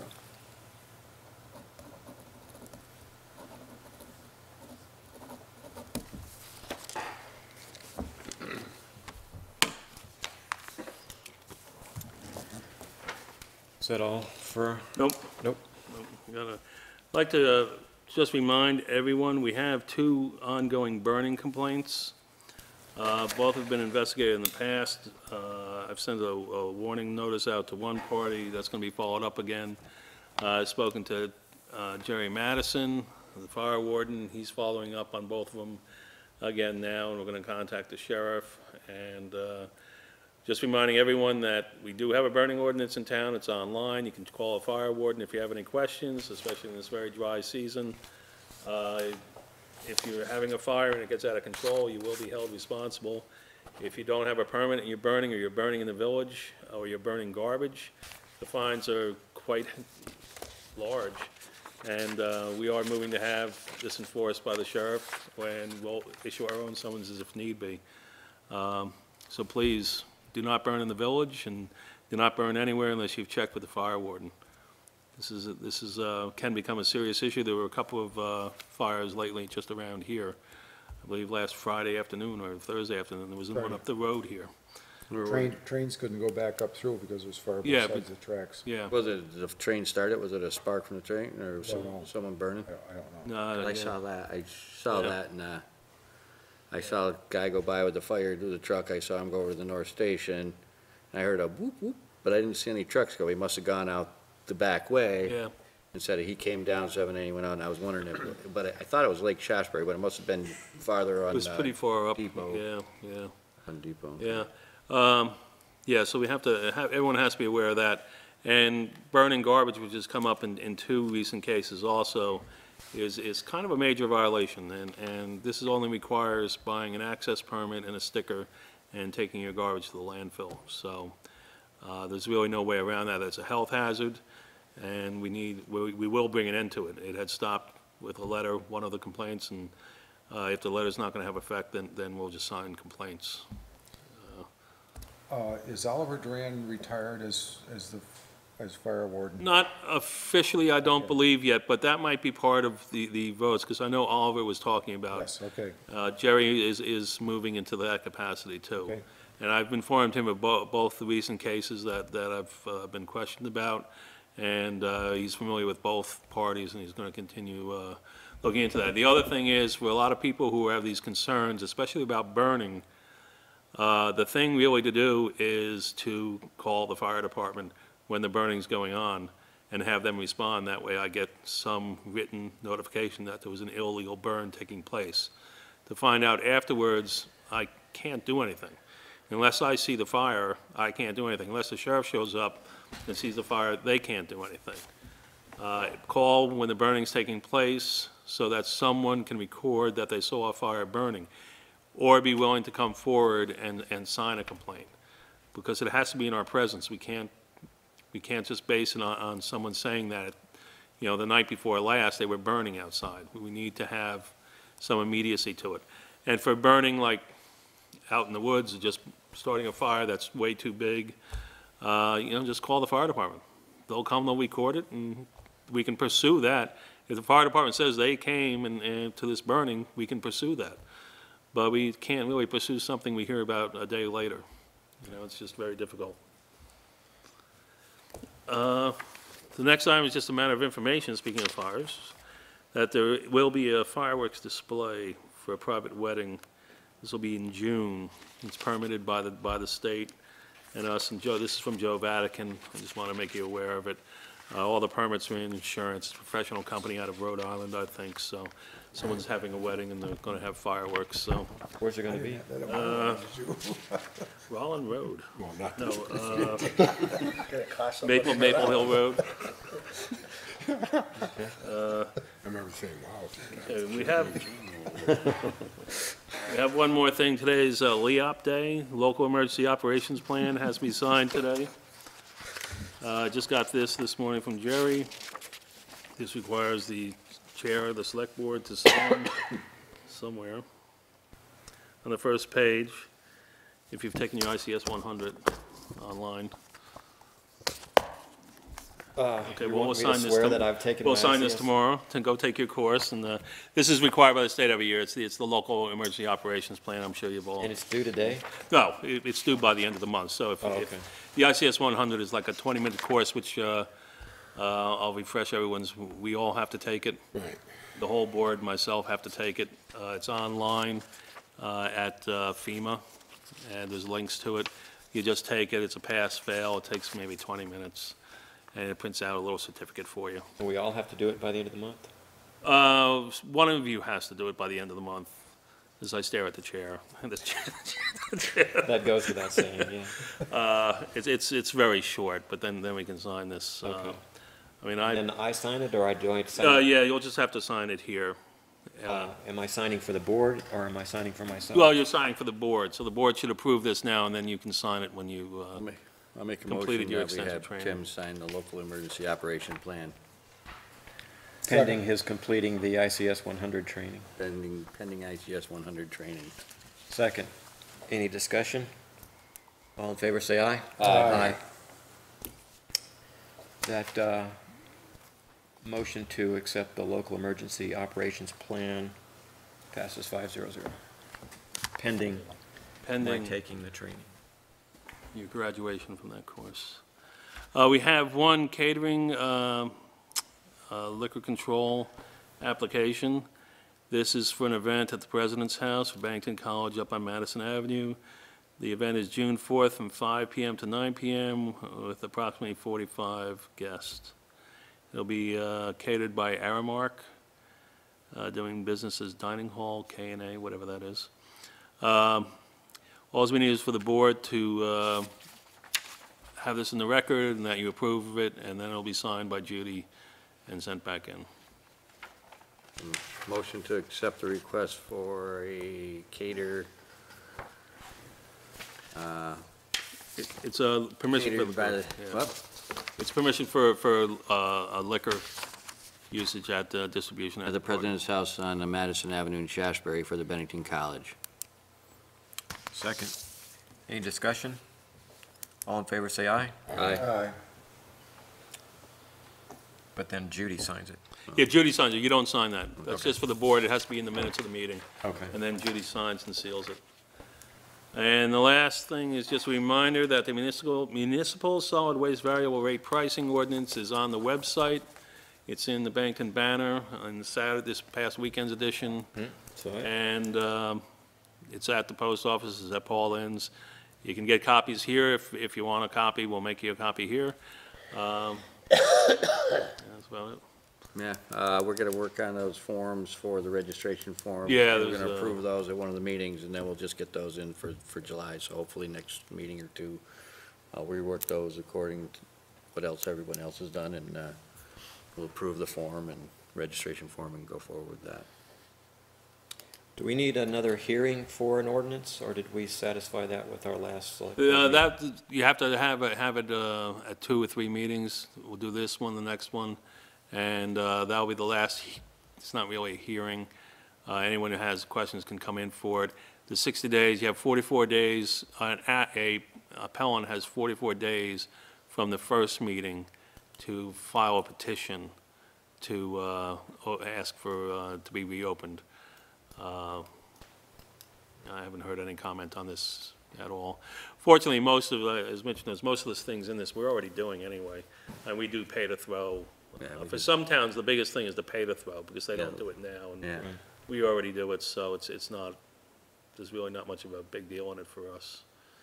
It's pretty straightforward. Actually, our, our little operation is pretty advanced by the standards of this new agreement, so, um, we're in pretty good shape.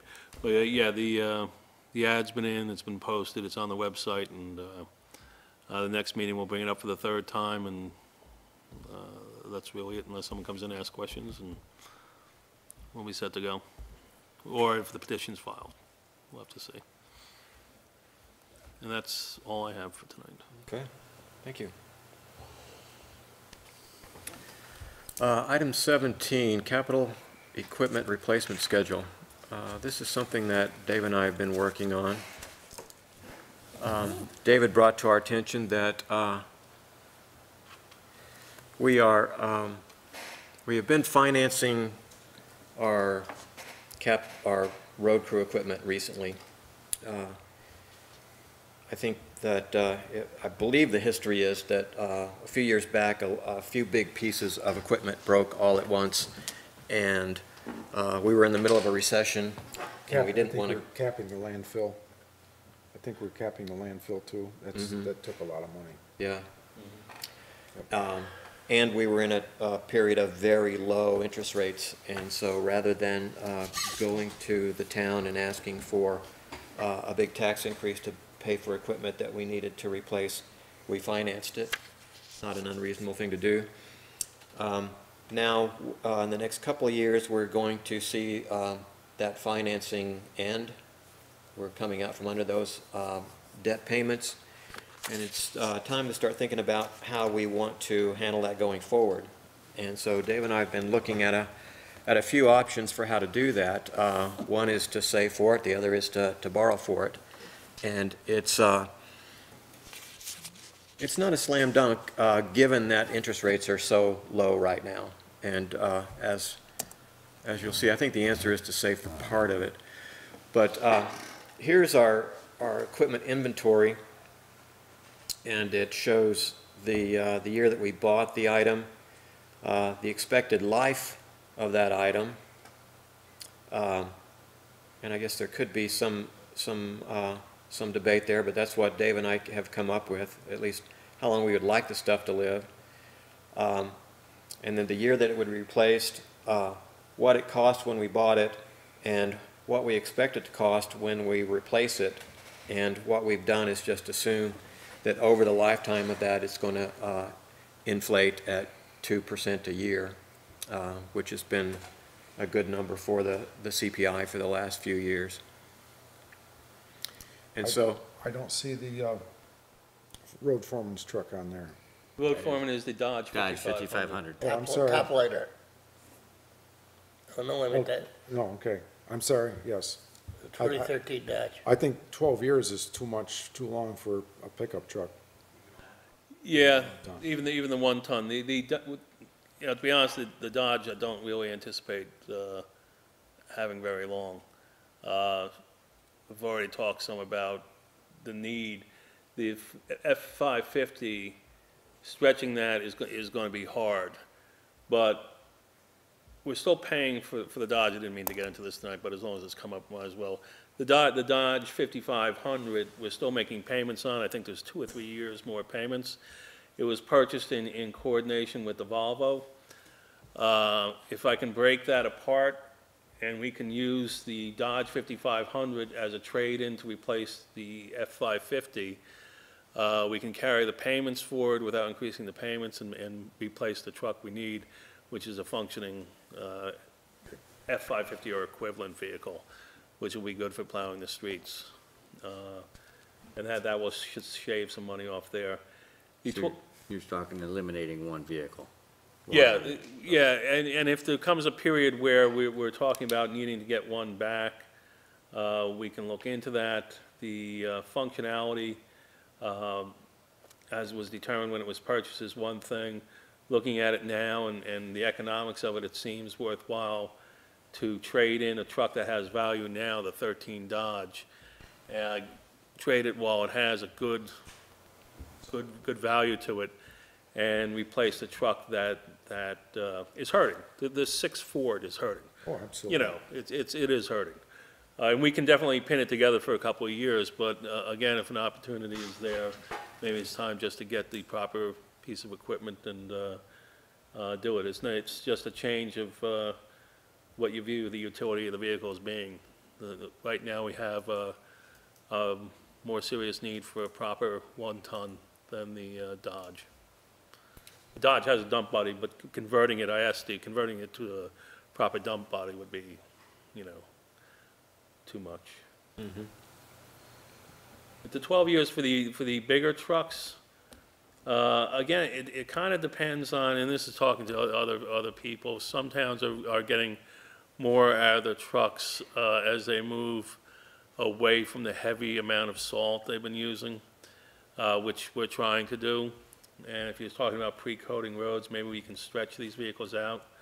And especially when you get into, uh, you know, the single and and tandems, you know, the replacement cost of these is getting, you know, quite, quite high. I mean, you're looking at a tandem, the 13 tandem there, uh, just by doing a simple inflation rate is going to be $235,000 when it has to be replaced. You know, we're getting into some serious money and and stretching the life by, uh, you know, even an aggressive maintenance program. uh, Every year is, every year is, is money. you know, uh, You know, there's, there's two ways of looking at it. I agree, there's looking at it, keeping a truck Uh, like the last one, Steve, I think when we traded that in, we got twenty-five thousand dollars for the, you know, uh, it's kind of a marginal return. Could, could we have made that truck for, for a lesser amount of money last two more years? You know, possibly. It's, it's, a- it's an approach. These are estimates. Of course, you don't know. You could have the, uh, you know, the truck that just fails to function properly after nine, ten years, and it just has to go because you're just replacing too many things.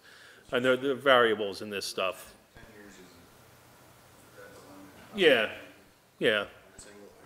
On the single axles too, yeah. If you wanna keep them on, you're gonna have to, uh, sandblasting and painting and Yeah. with it, because once you start to see the rust flakes coming off, it's not long after you pull. Mm-hmm. clean up and something on it, but a lot full on. And the trucks we can play with, the, the backhoe and the excavator, uh, I mean, these are two long-term vehicles, and, and the hours on each of them now are, are pretty minimal, and they've been around a while, so I would, I would imagine with proper maintenance, both of these would even extend past that lifespan. Uh, the excavator has, what, four hundred some odd hours on it, and roughly, six hundred, okay, yeah, and it's been around. That, for- that excavator, Dave, has been used fifteen hours a month. Yeah. So, About six hundred dollars an hour it's costing us. yeah, and as a, as a heavy, you know, as a construction, a piece of equipment, I mean, really, it could do uh, fifty times that in a month, and, Well, So yeah, we're- we're mean, gonna be- it- we're gonna have Number it- one, it should be used more. yeah. And number two, I think the lifespan of that can't be more than twenty years. Yeah, I do too, because it's just not getting the use that would really I tear it it's up. not like you're out putting a thousand, two thousand hours a year at Yeah, it, yeah, you know, on a regular construction job. Yeah, we're into our uh, third year with it, uh, second, uh, two and a half years into it, and we have six hundred hours on it. So that's gonna be around a while. The backhoe, of course, because you have the excavator, the backhoe is going out less. Right. So you have two pieces of equipment here that uh, will probably extend out. The, the big issue is uh, the grader used from uh, almost year-round, because it does have plowing capabilities too. You can put a wing on it and push back snow with it too. So 25 years is probably uh, maxed on that too, I would think, Steve, if you think. We we have the wing and the equipment. Yeah, yeah, yeah. So, I mean, there's, there's options to use that to, to push back snow and things. It's another vehicle you can put out there. Um, The next big one really coming up, if we, if we work the Dodge into the Ford, would be the '09 single axle that uh, is going, is going to need to go pretty soon. All right, well, um, this is all good and needs to go into, um, this discussion. What I've, uh, been looking at really is the finance questions, and once we, uh, um, kind of settle on the finance questions, or even, even before that, we can go in and look at the specifics of, uh, how long we think we're gonna get, uh, out of each of these pieces of equipment. But for, uh, for a first blush, uh, this is what, uh, what we came up with. So. I'd like to look into the possibility, Tim, of, uh, maybe possibly cutting down one truck and one man in the wintertime for plowing, and just contract that out. Um, then, then you're down one employee, and you're down on the equipment, and you need the men in the wintertime, and you don't necessarily in the summer. Um, I think that should be looked at. It's a different question than what I'm. Well, no, but I mean, But yeah. I, kinda goes in with what we're talking about now. Yes, I agree. I agree. It's something that we've been, been talking about We're lately. Talking about that too. Yeah. I think Pownal hires trucks in the wintertime for plowing. Well, yeah, I- well, I don't want to go too far astray, but many towns across the state, and I was just up in Montpelier last week, and, and there's towns talking about, um, contracting out instead of having, you know, uh, extra vehicles and things, contracting out. And the- the money pretty much stays local anyway, because you, do- you do a local bid and you wind up getting a local person with a truck who wants to do the plowing, Right. you know. Um, I, I think that's a, a good point and a question that Dave and I have been talking about, one that we ought to explore. Um, I will say that previous, uh, select boards have explored that question as well. I was talking to Lon McClintock recently and said, and, um, they considered that question, the, the balance between full-time crew and contract labor. And uh, they did some polling of towns and, uh, some years back, and uh, what they found is that towns that had moved toward contract labor were moving back toward full-time labor because of quality of service. That they didn't feel like they, they got uh, the plows there when they needed them, or the, the, the quality of the road construction that they needed uh, when they hired it out. So, um, More control. more control. So, um, I think it's still a valid question to ask, and I've been, we've been asking it lately. I think we j- just need to explore it in depth. Uh, so here's the, the kind of the punchline of, of this is, um, if you, uh, if you, uh, you know, we've got one point eight million dollars worth of equipment that, that's the cost that it's gonna be when we replace it in whatever year. Um, if we uh, save for reserves, uh, we save for that, and we earn interest on that money at half a percent, because that's what you can get now, maybe. That's not what we're getting now, but I'm being optimistic, saying we can get half a percent. Um, We, you know, we earn $100,000 interest over 20 years, you know, spread out variously, and it ends up saving us a little bit of money. Um, I, I was surprised to find this. I went through this whole exercise using five percent for my rate of return. Uh, and then you save significant money, uh, relative to the actual cost over twenty years. Uh, but you can't get that. I talked to Stu Hurd in Bennington. They have all their reserve funds in one fund. That one fund earns 0.3 percent right now. Zero point three percent. Less than inflation. And that's part of, uh, uh, what goes into the, the finance question here is uh, the question of uh, putting large sums of money in the bank where they lose value relative to inflation. Um, So, uh, and then we can uh, balance that against the cost of not saving at all for, for the, for the stuff and just uh, uh, finance it when it comes due. Uh, In that case, you end up spending money on interest over that period of time. But over 20 years, um, $300,000 is not uh, a huge amount of money. That's over 20 years, that's not per year, that's the total, total cost there.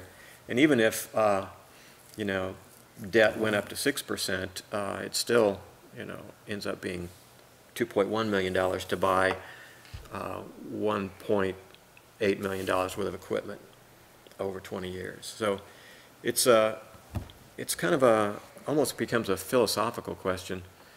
Uh, And I guess kind of a predict the future kind of question. Now, are, are return on investment rates always going to be this low? And are uh, debt service rates always going to be this low?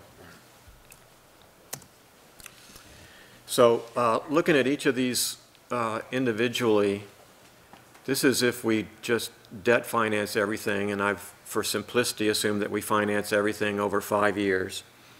And these yellow bars indicate uh, when uh, stuff is due to, to reach end of life over the next 20-odd years. This goes out to 2035 here. That's just your first graph, right? That's just um, uh, vertical graph. Right? Um, The years. Yeah, the years, uh, the replace year Yep. is where those yellow bars pop up. Yep. And so, uh, this is the graph of what we're currently spending on debt. So we're, we're spending two hundred thousand dollars per year on debt service right now, and those payments are gonna go away in the next, uh, few years. And so, if we, uh, take on new debt to finance that equipment, this is what that looks like, this red line, financing everything for, for five years. And then uh, the purple line is the sum of those two. So uh, we immediately, as soon as uh, this current batch of uh, stuff that we had to buy all at once comes out from under debt service, we start dropping down, drop down as low as uh, uh, $21,000 here, but then if we don't smooth it out with any savings, what we're looking at is big fluctuations. You know, one year we go and say, we're heroes, we're only spending $21,000 in debt service, and then a few years later, the next select board has to borrow almost $200,000 to, uh, to buy that. So the, the real downside of debt finance is not the cost of debt, it's the fluctuations of when things break and you having to, uh, to finance it all at once. For some, for some reason, people that I talk to in town just, just feel that the town shouldn't be in debt. I, I, it's just a philosophical thing again, so. Yeah, it, it is, it is kind of philosophical. I'm, I'm that way too. Uh, I have a friend that I have this argument with all the time who has a, a thirty-year mortgage and I have a fifteen-year mortgage and, uh, it's, it's, it, uh, it's almost philosophical. It comes down to, you know, if you want to do the numbers, what you get on your investment relative to what you get on your debt and really, uh, you're, you're not getting much on your No, investment I- now. Uh, So uh, this is the other option if we uh, um, save it all, and this is where you, you take each piece of equipment, you see when it's going, going to come due, and you uh, calculate how much you've got to save at uh, .5 uh, return on investment, uh, and then you add all those up, and that looks like this line here, which goes up fairly quickly, and then, you know, we've got to start saving for you know, this batch of, stuff that's coming due here. And if you look at the total of debt service plus savings, uh, to save for all of it, you're looking at maintaining $200,000 a year, either in debt service or savings, uh, for a number of years. That doesn't really start to come down until you get out to 10 years from now. Uh, The other thing that's uh, interesting is this, Where'd uh, that come from? now this, What is that? this, you know, this is the green line, Gets to that. this is the green line, which is the fund balance that we would acquire to do all this uh, savings, to save it all. So this green line is on this green scale over here. So each year, we're putting in this amount of money into a reserve fund. This is the size of that reserve fund, okay? So it drops down, goes up to half a million, it drops down when we buy this batch of equipment. Then it builds up to, uh, I'm sorry, not a half a million, uh, yeah, half a million, well, 900,000 here, uh, over a million here in anticipation of two big pieces of equipment out here.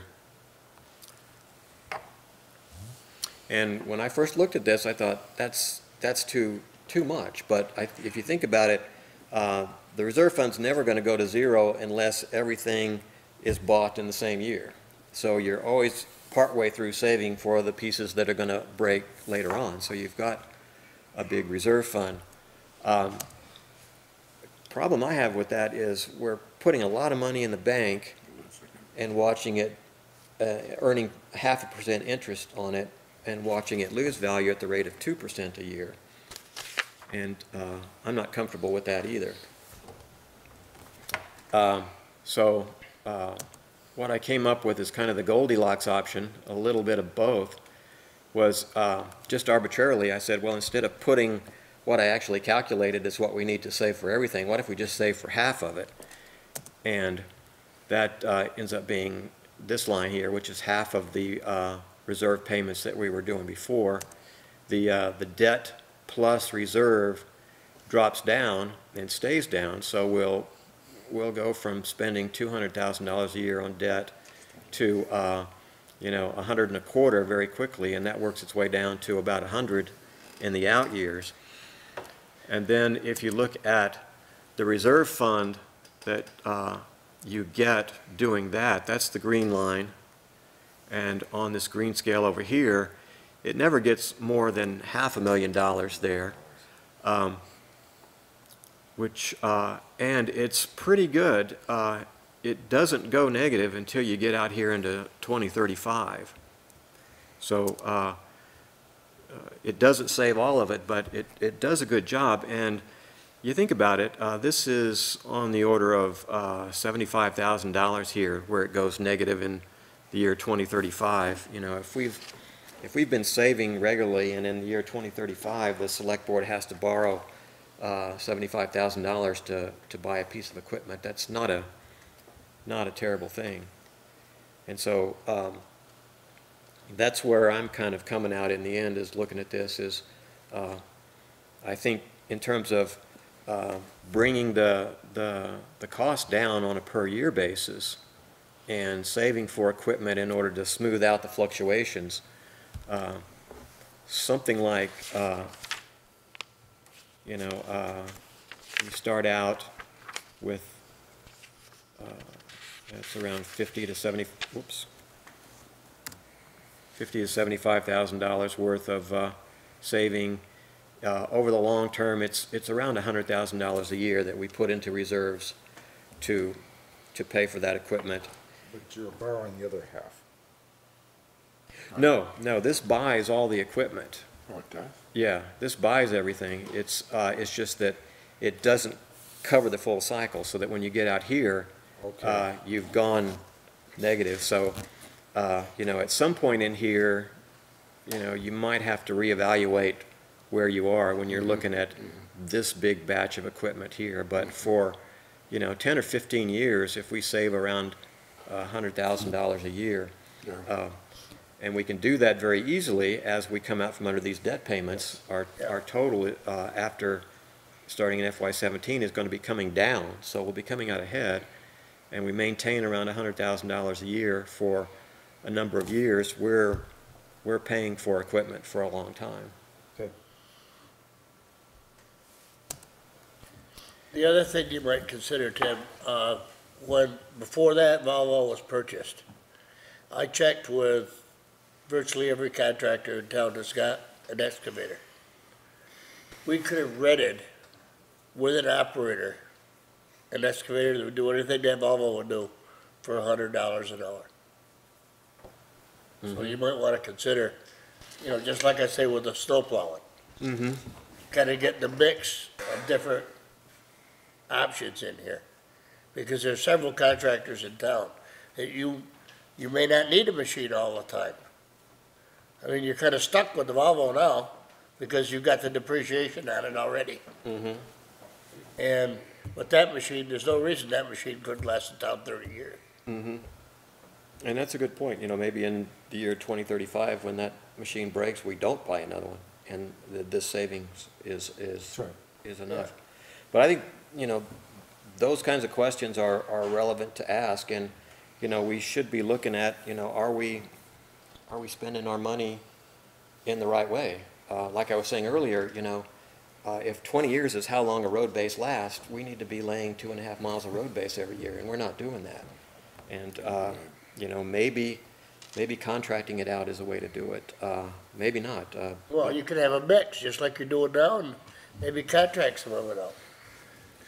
And, you know, I don't know, I've never heard that number that it's twenty years that a road base will last. I mean, where's it gonna go? It's not gonna move anywhere. You, you're, what, what makes the effect on a road is traffic, erosion, all kinds of things, and how it was built to start with. Yeah. And, and it's like the White Creek Road, when the time they built that road, and they turned it into a blacktop road, they never had a proper base under it. I mean, as everybody knows from last year with down by Brown House, it's all clay under there. Mm-hmm. You know,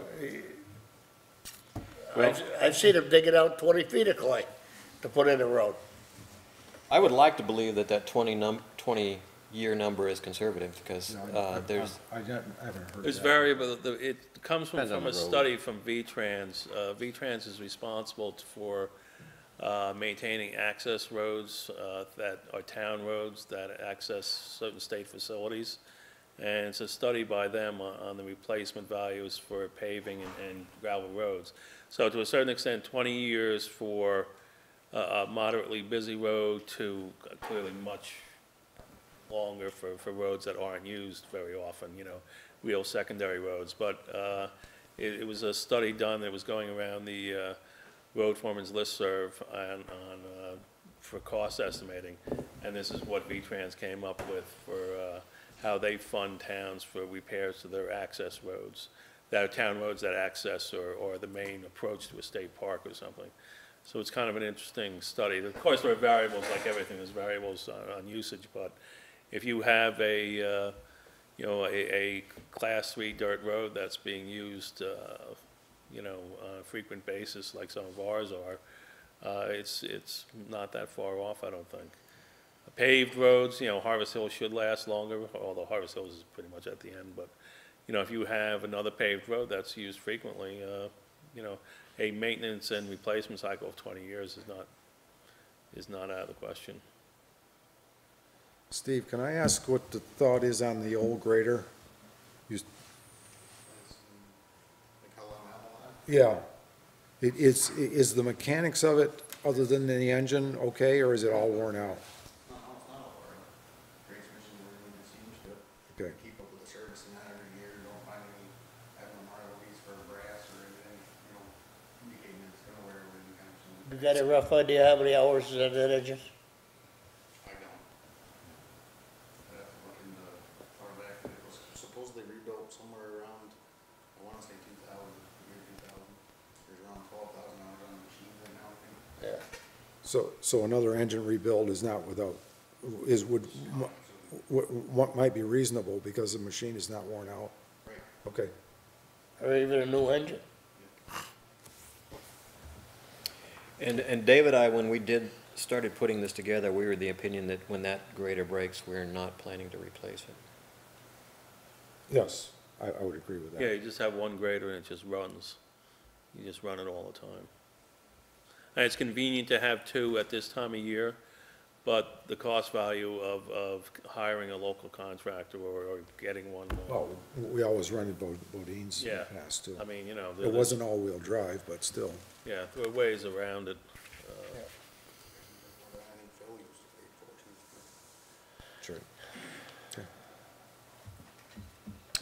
So just in terms of economics and philosophy and those kinds of questions, um, the, uh, the debt only is subject to fluctuations in terms of the, what we have to go to the, the voters for in taxes as uh, needs to purchase equipment come and go. And it's also subject to uh, possible interest rate rises in the future, although as I showed there, even if it went to six percent, it's not, it's not a backbreaker uh, over the long haul.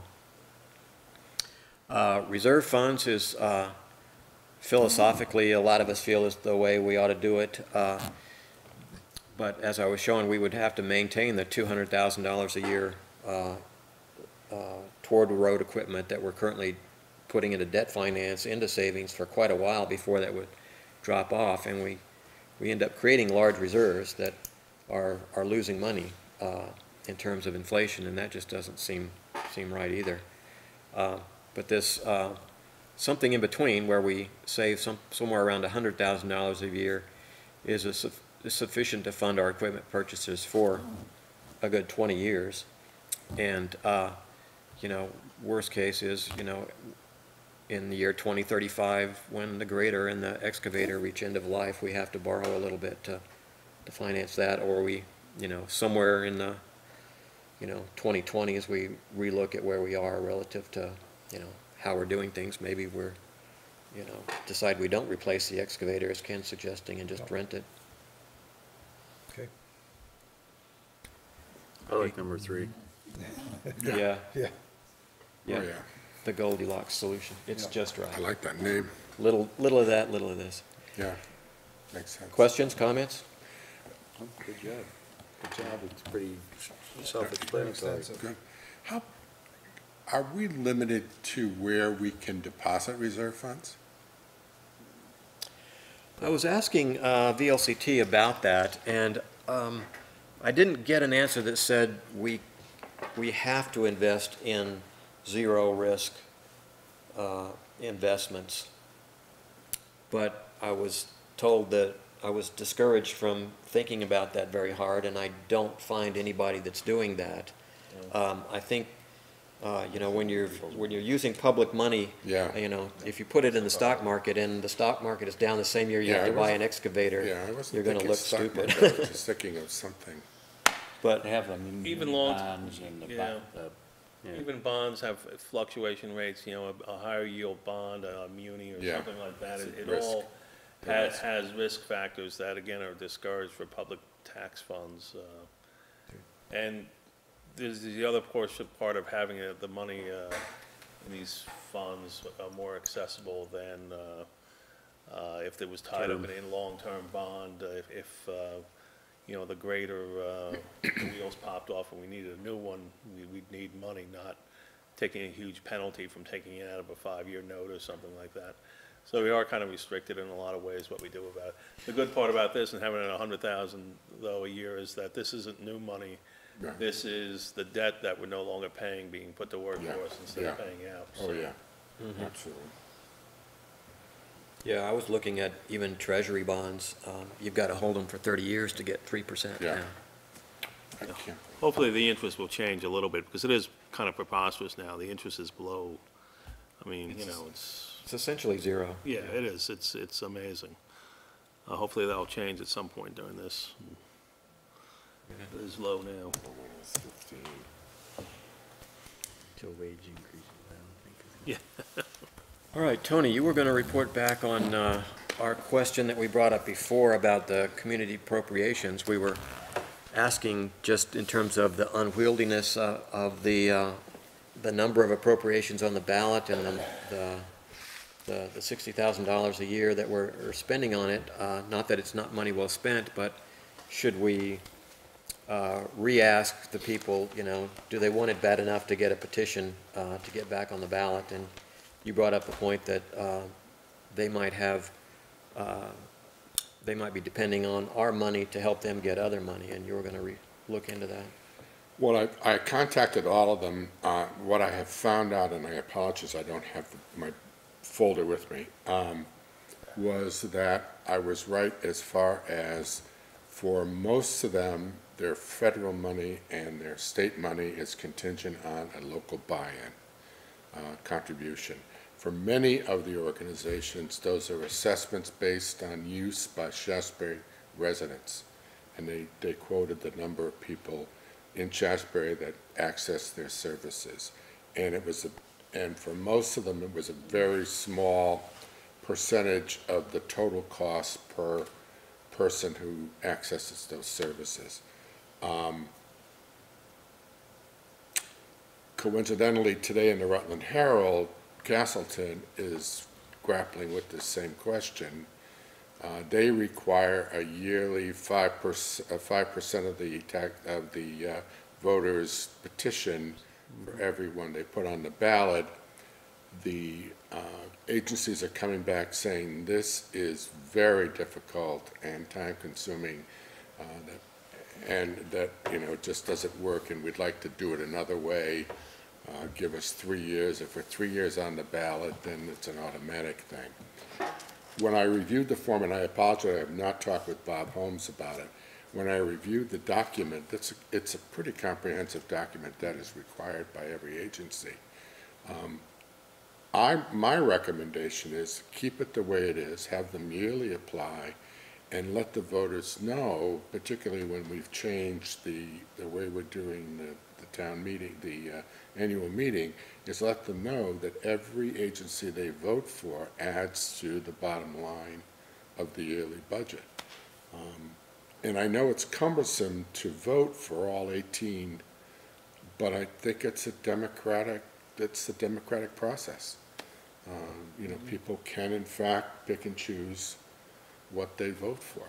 Um, So, um, I mean, I can go back and I have one other phone call I gotta make to, because that person's no longer with the agency. But by and large, I found that their explanations, and everybody was great as far as explanations were concerned. They, uh, you know, it was a thought, it- every one of them seemed to me to be a thoughtful process uh, that they went through uh, in order to ask for the money from the town.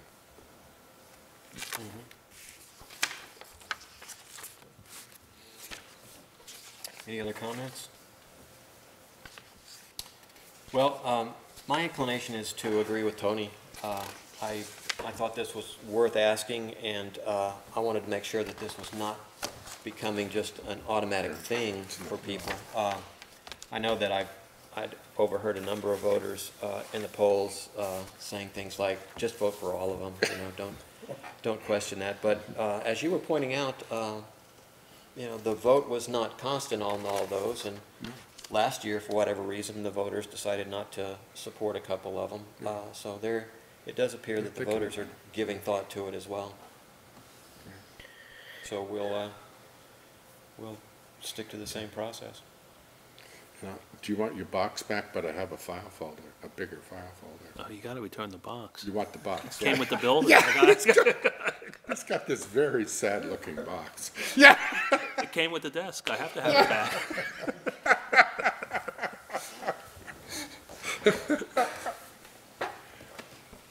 Is there any other business? Um, do you have bids on, did you say you had another bid for, um, David? um, Harvest Hills? Oh, oh, yeah, we had, we had, uh, gotten an estimate from Peckham on Harvest Hills. And I have an estimate from Baldwin's. Oh, okay, yeah, uh, I mean, I don't know where that's gonna go until we, we start setting our priorities, uh, because I have, uh, uh, it's Buck Hill. Eastfield, there's Peckham. Yeah, I mean, we did a estimate for, just out of curiosity, if we could get to this, for, uh, seven hundred and eighty feet, twenty feet wide. We uh. Probably don't want to say any of these Yeah, we don't, out no, we're loud not gonna say anything uh, out loud, but we do, we do have one, and that all has to do with when we get back into, uh, uh, what we're actually gonna do this year. These state grants that we've talked about before, that, that we put in for, um, let's see where we go with those first off. Um, and then when the crew and, and all of us decide what we're gonna do with our twenty-one hundred feet of fabric, um, we may have enough to do some paving, but paving is so expensive. We really gotta put more money into it. Uh, Even uh, changing, like, we have a paving reserve fund, which is really a road resurfacing fund, because the roads, we only use it for class two matching, but some of our class two roads, like airport, are, are dirt roads. So we're resurfacing, you know, it's, it's a resurfacing grant or fund. So, um, you know, let's see what the state says. The state doesn't have a budget yet. Uh, Keep your fingers crossed that, uh, you know, we, we at least get the 175. Would would these be considered, would this be considered No. a bid?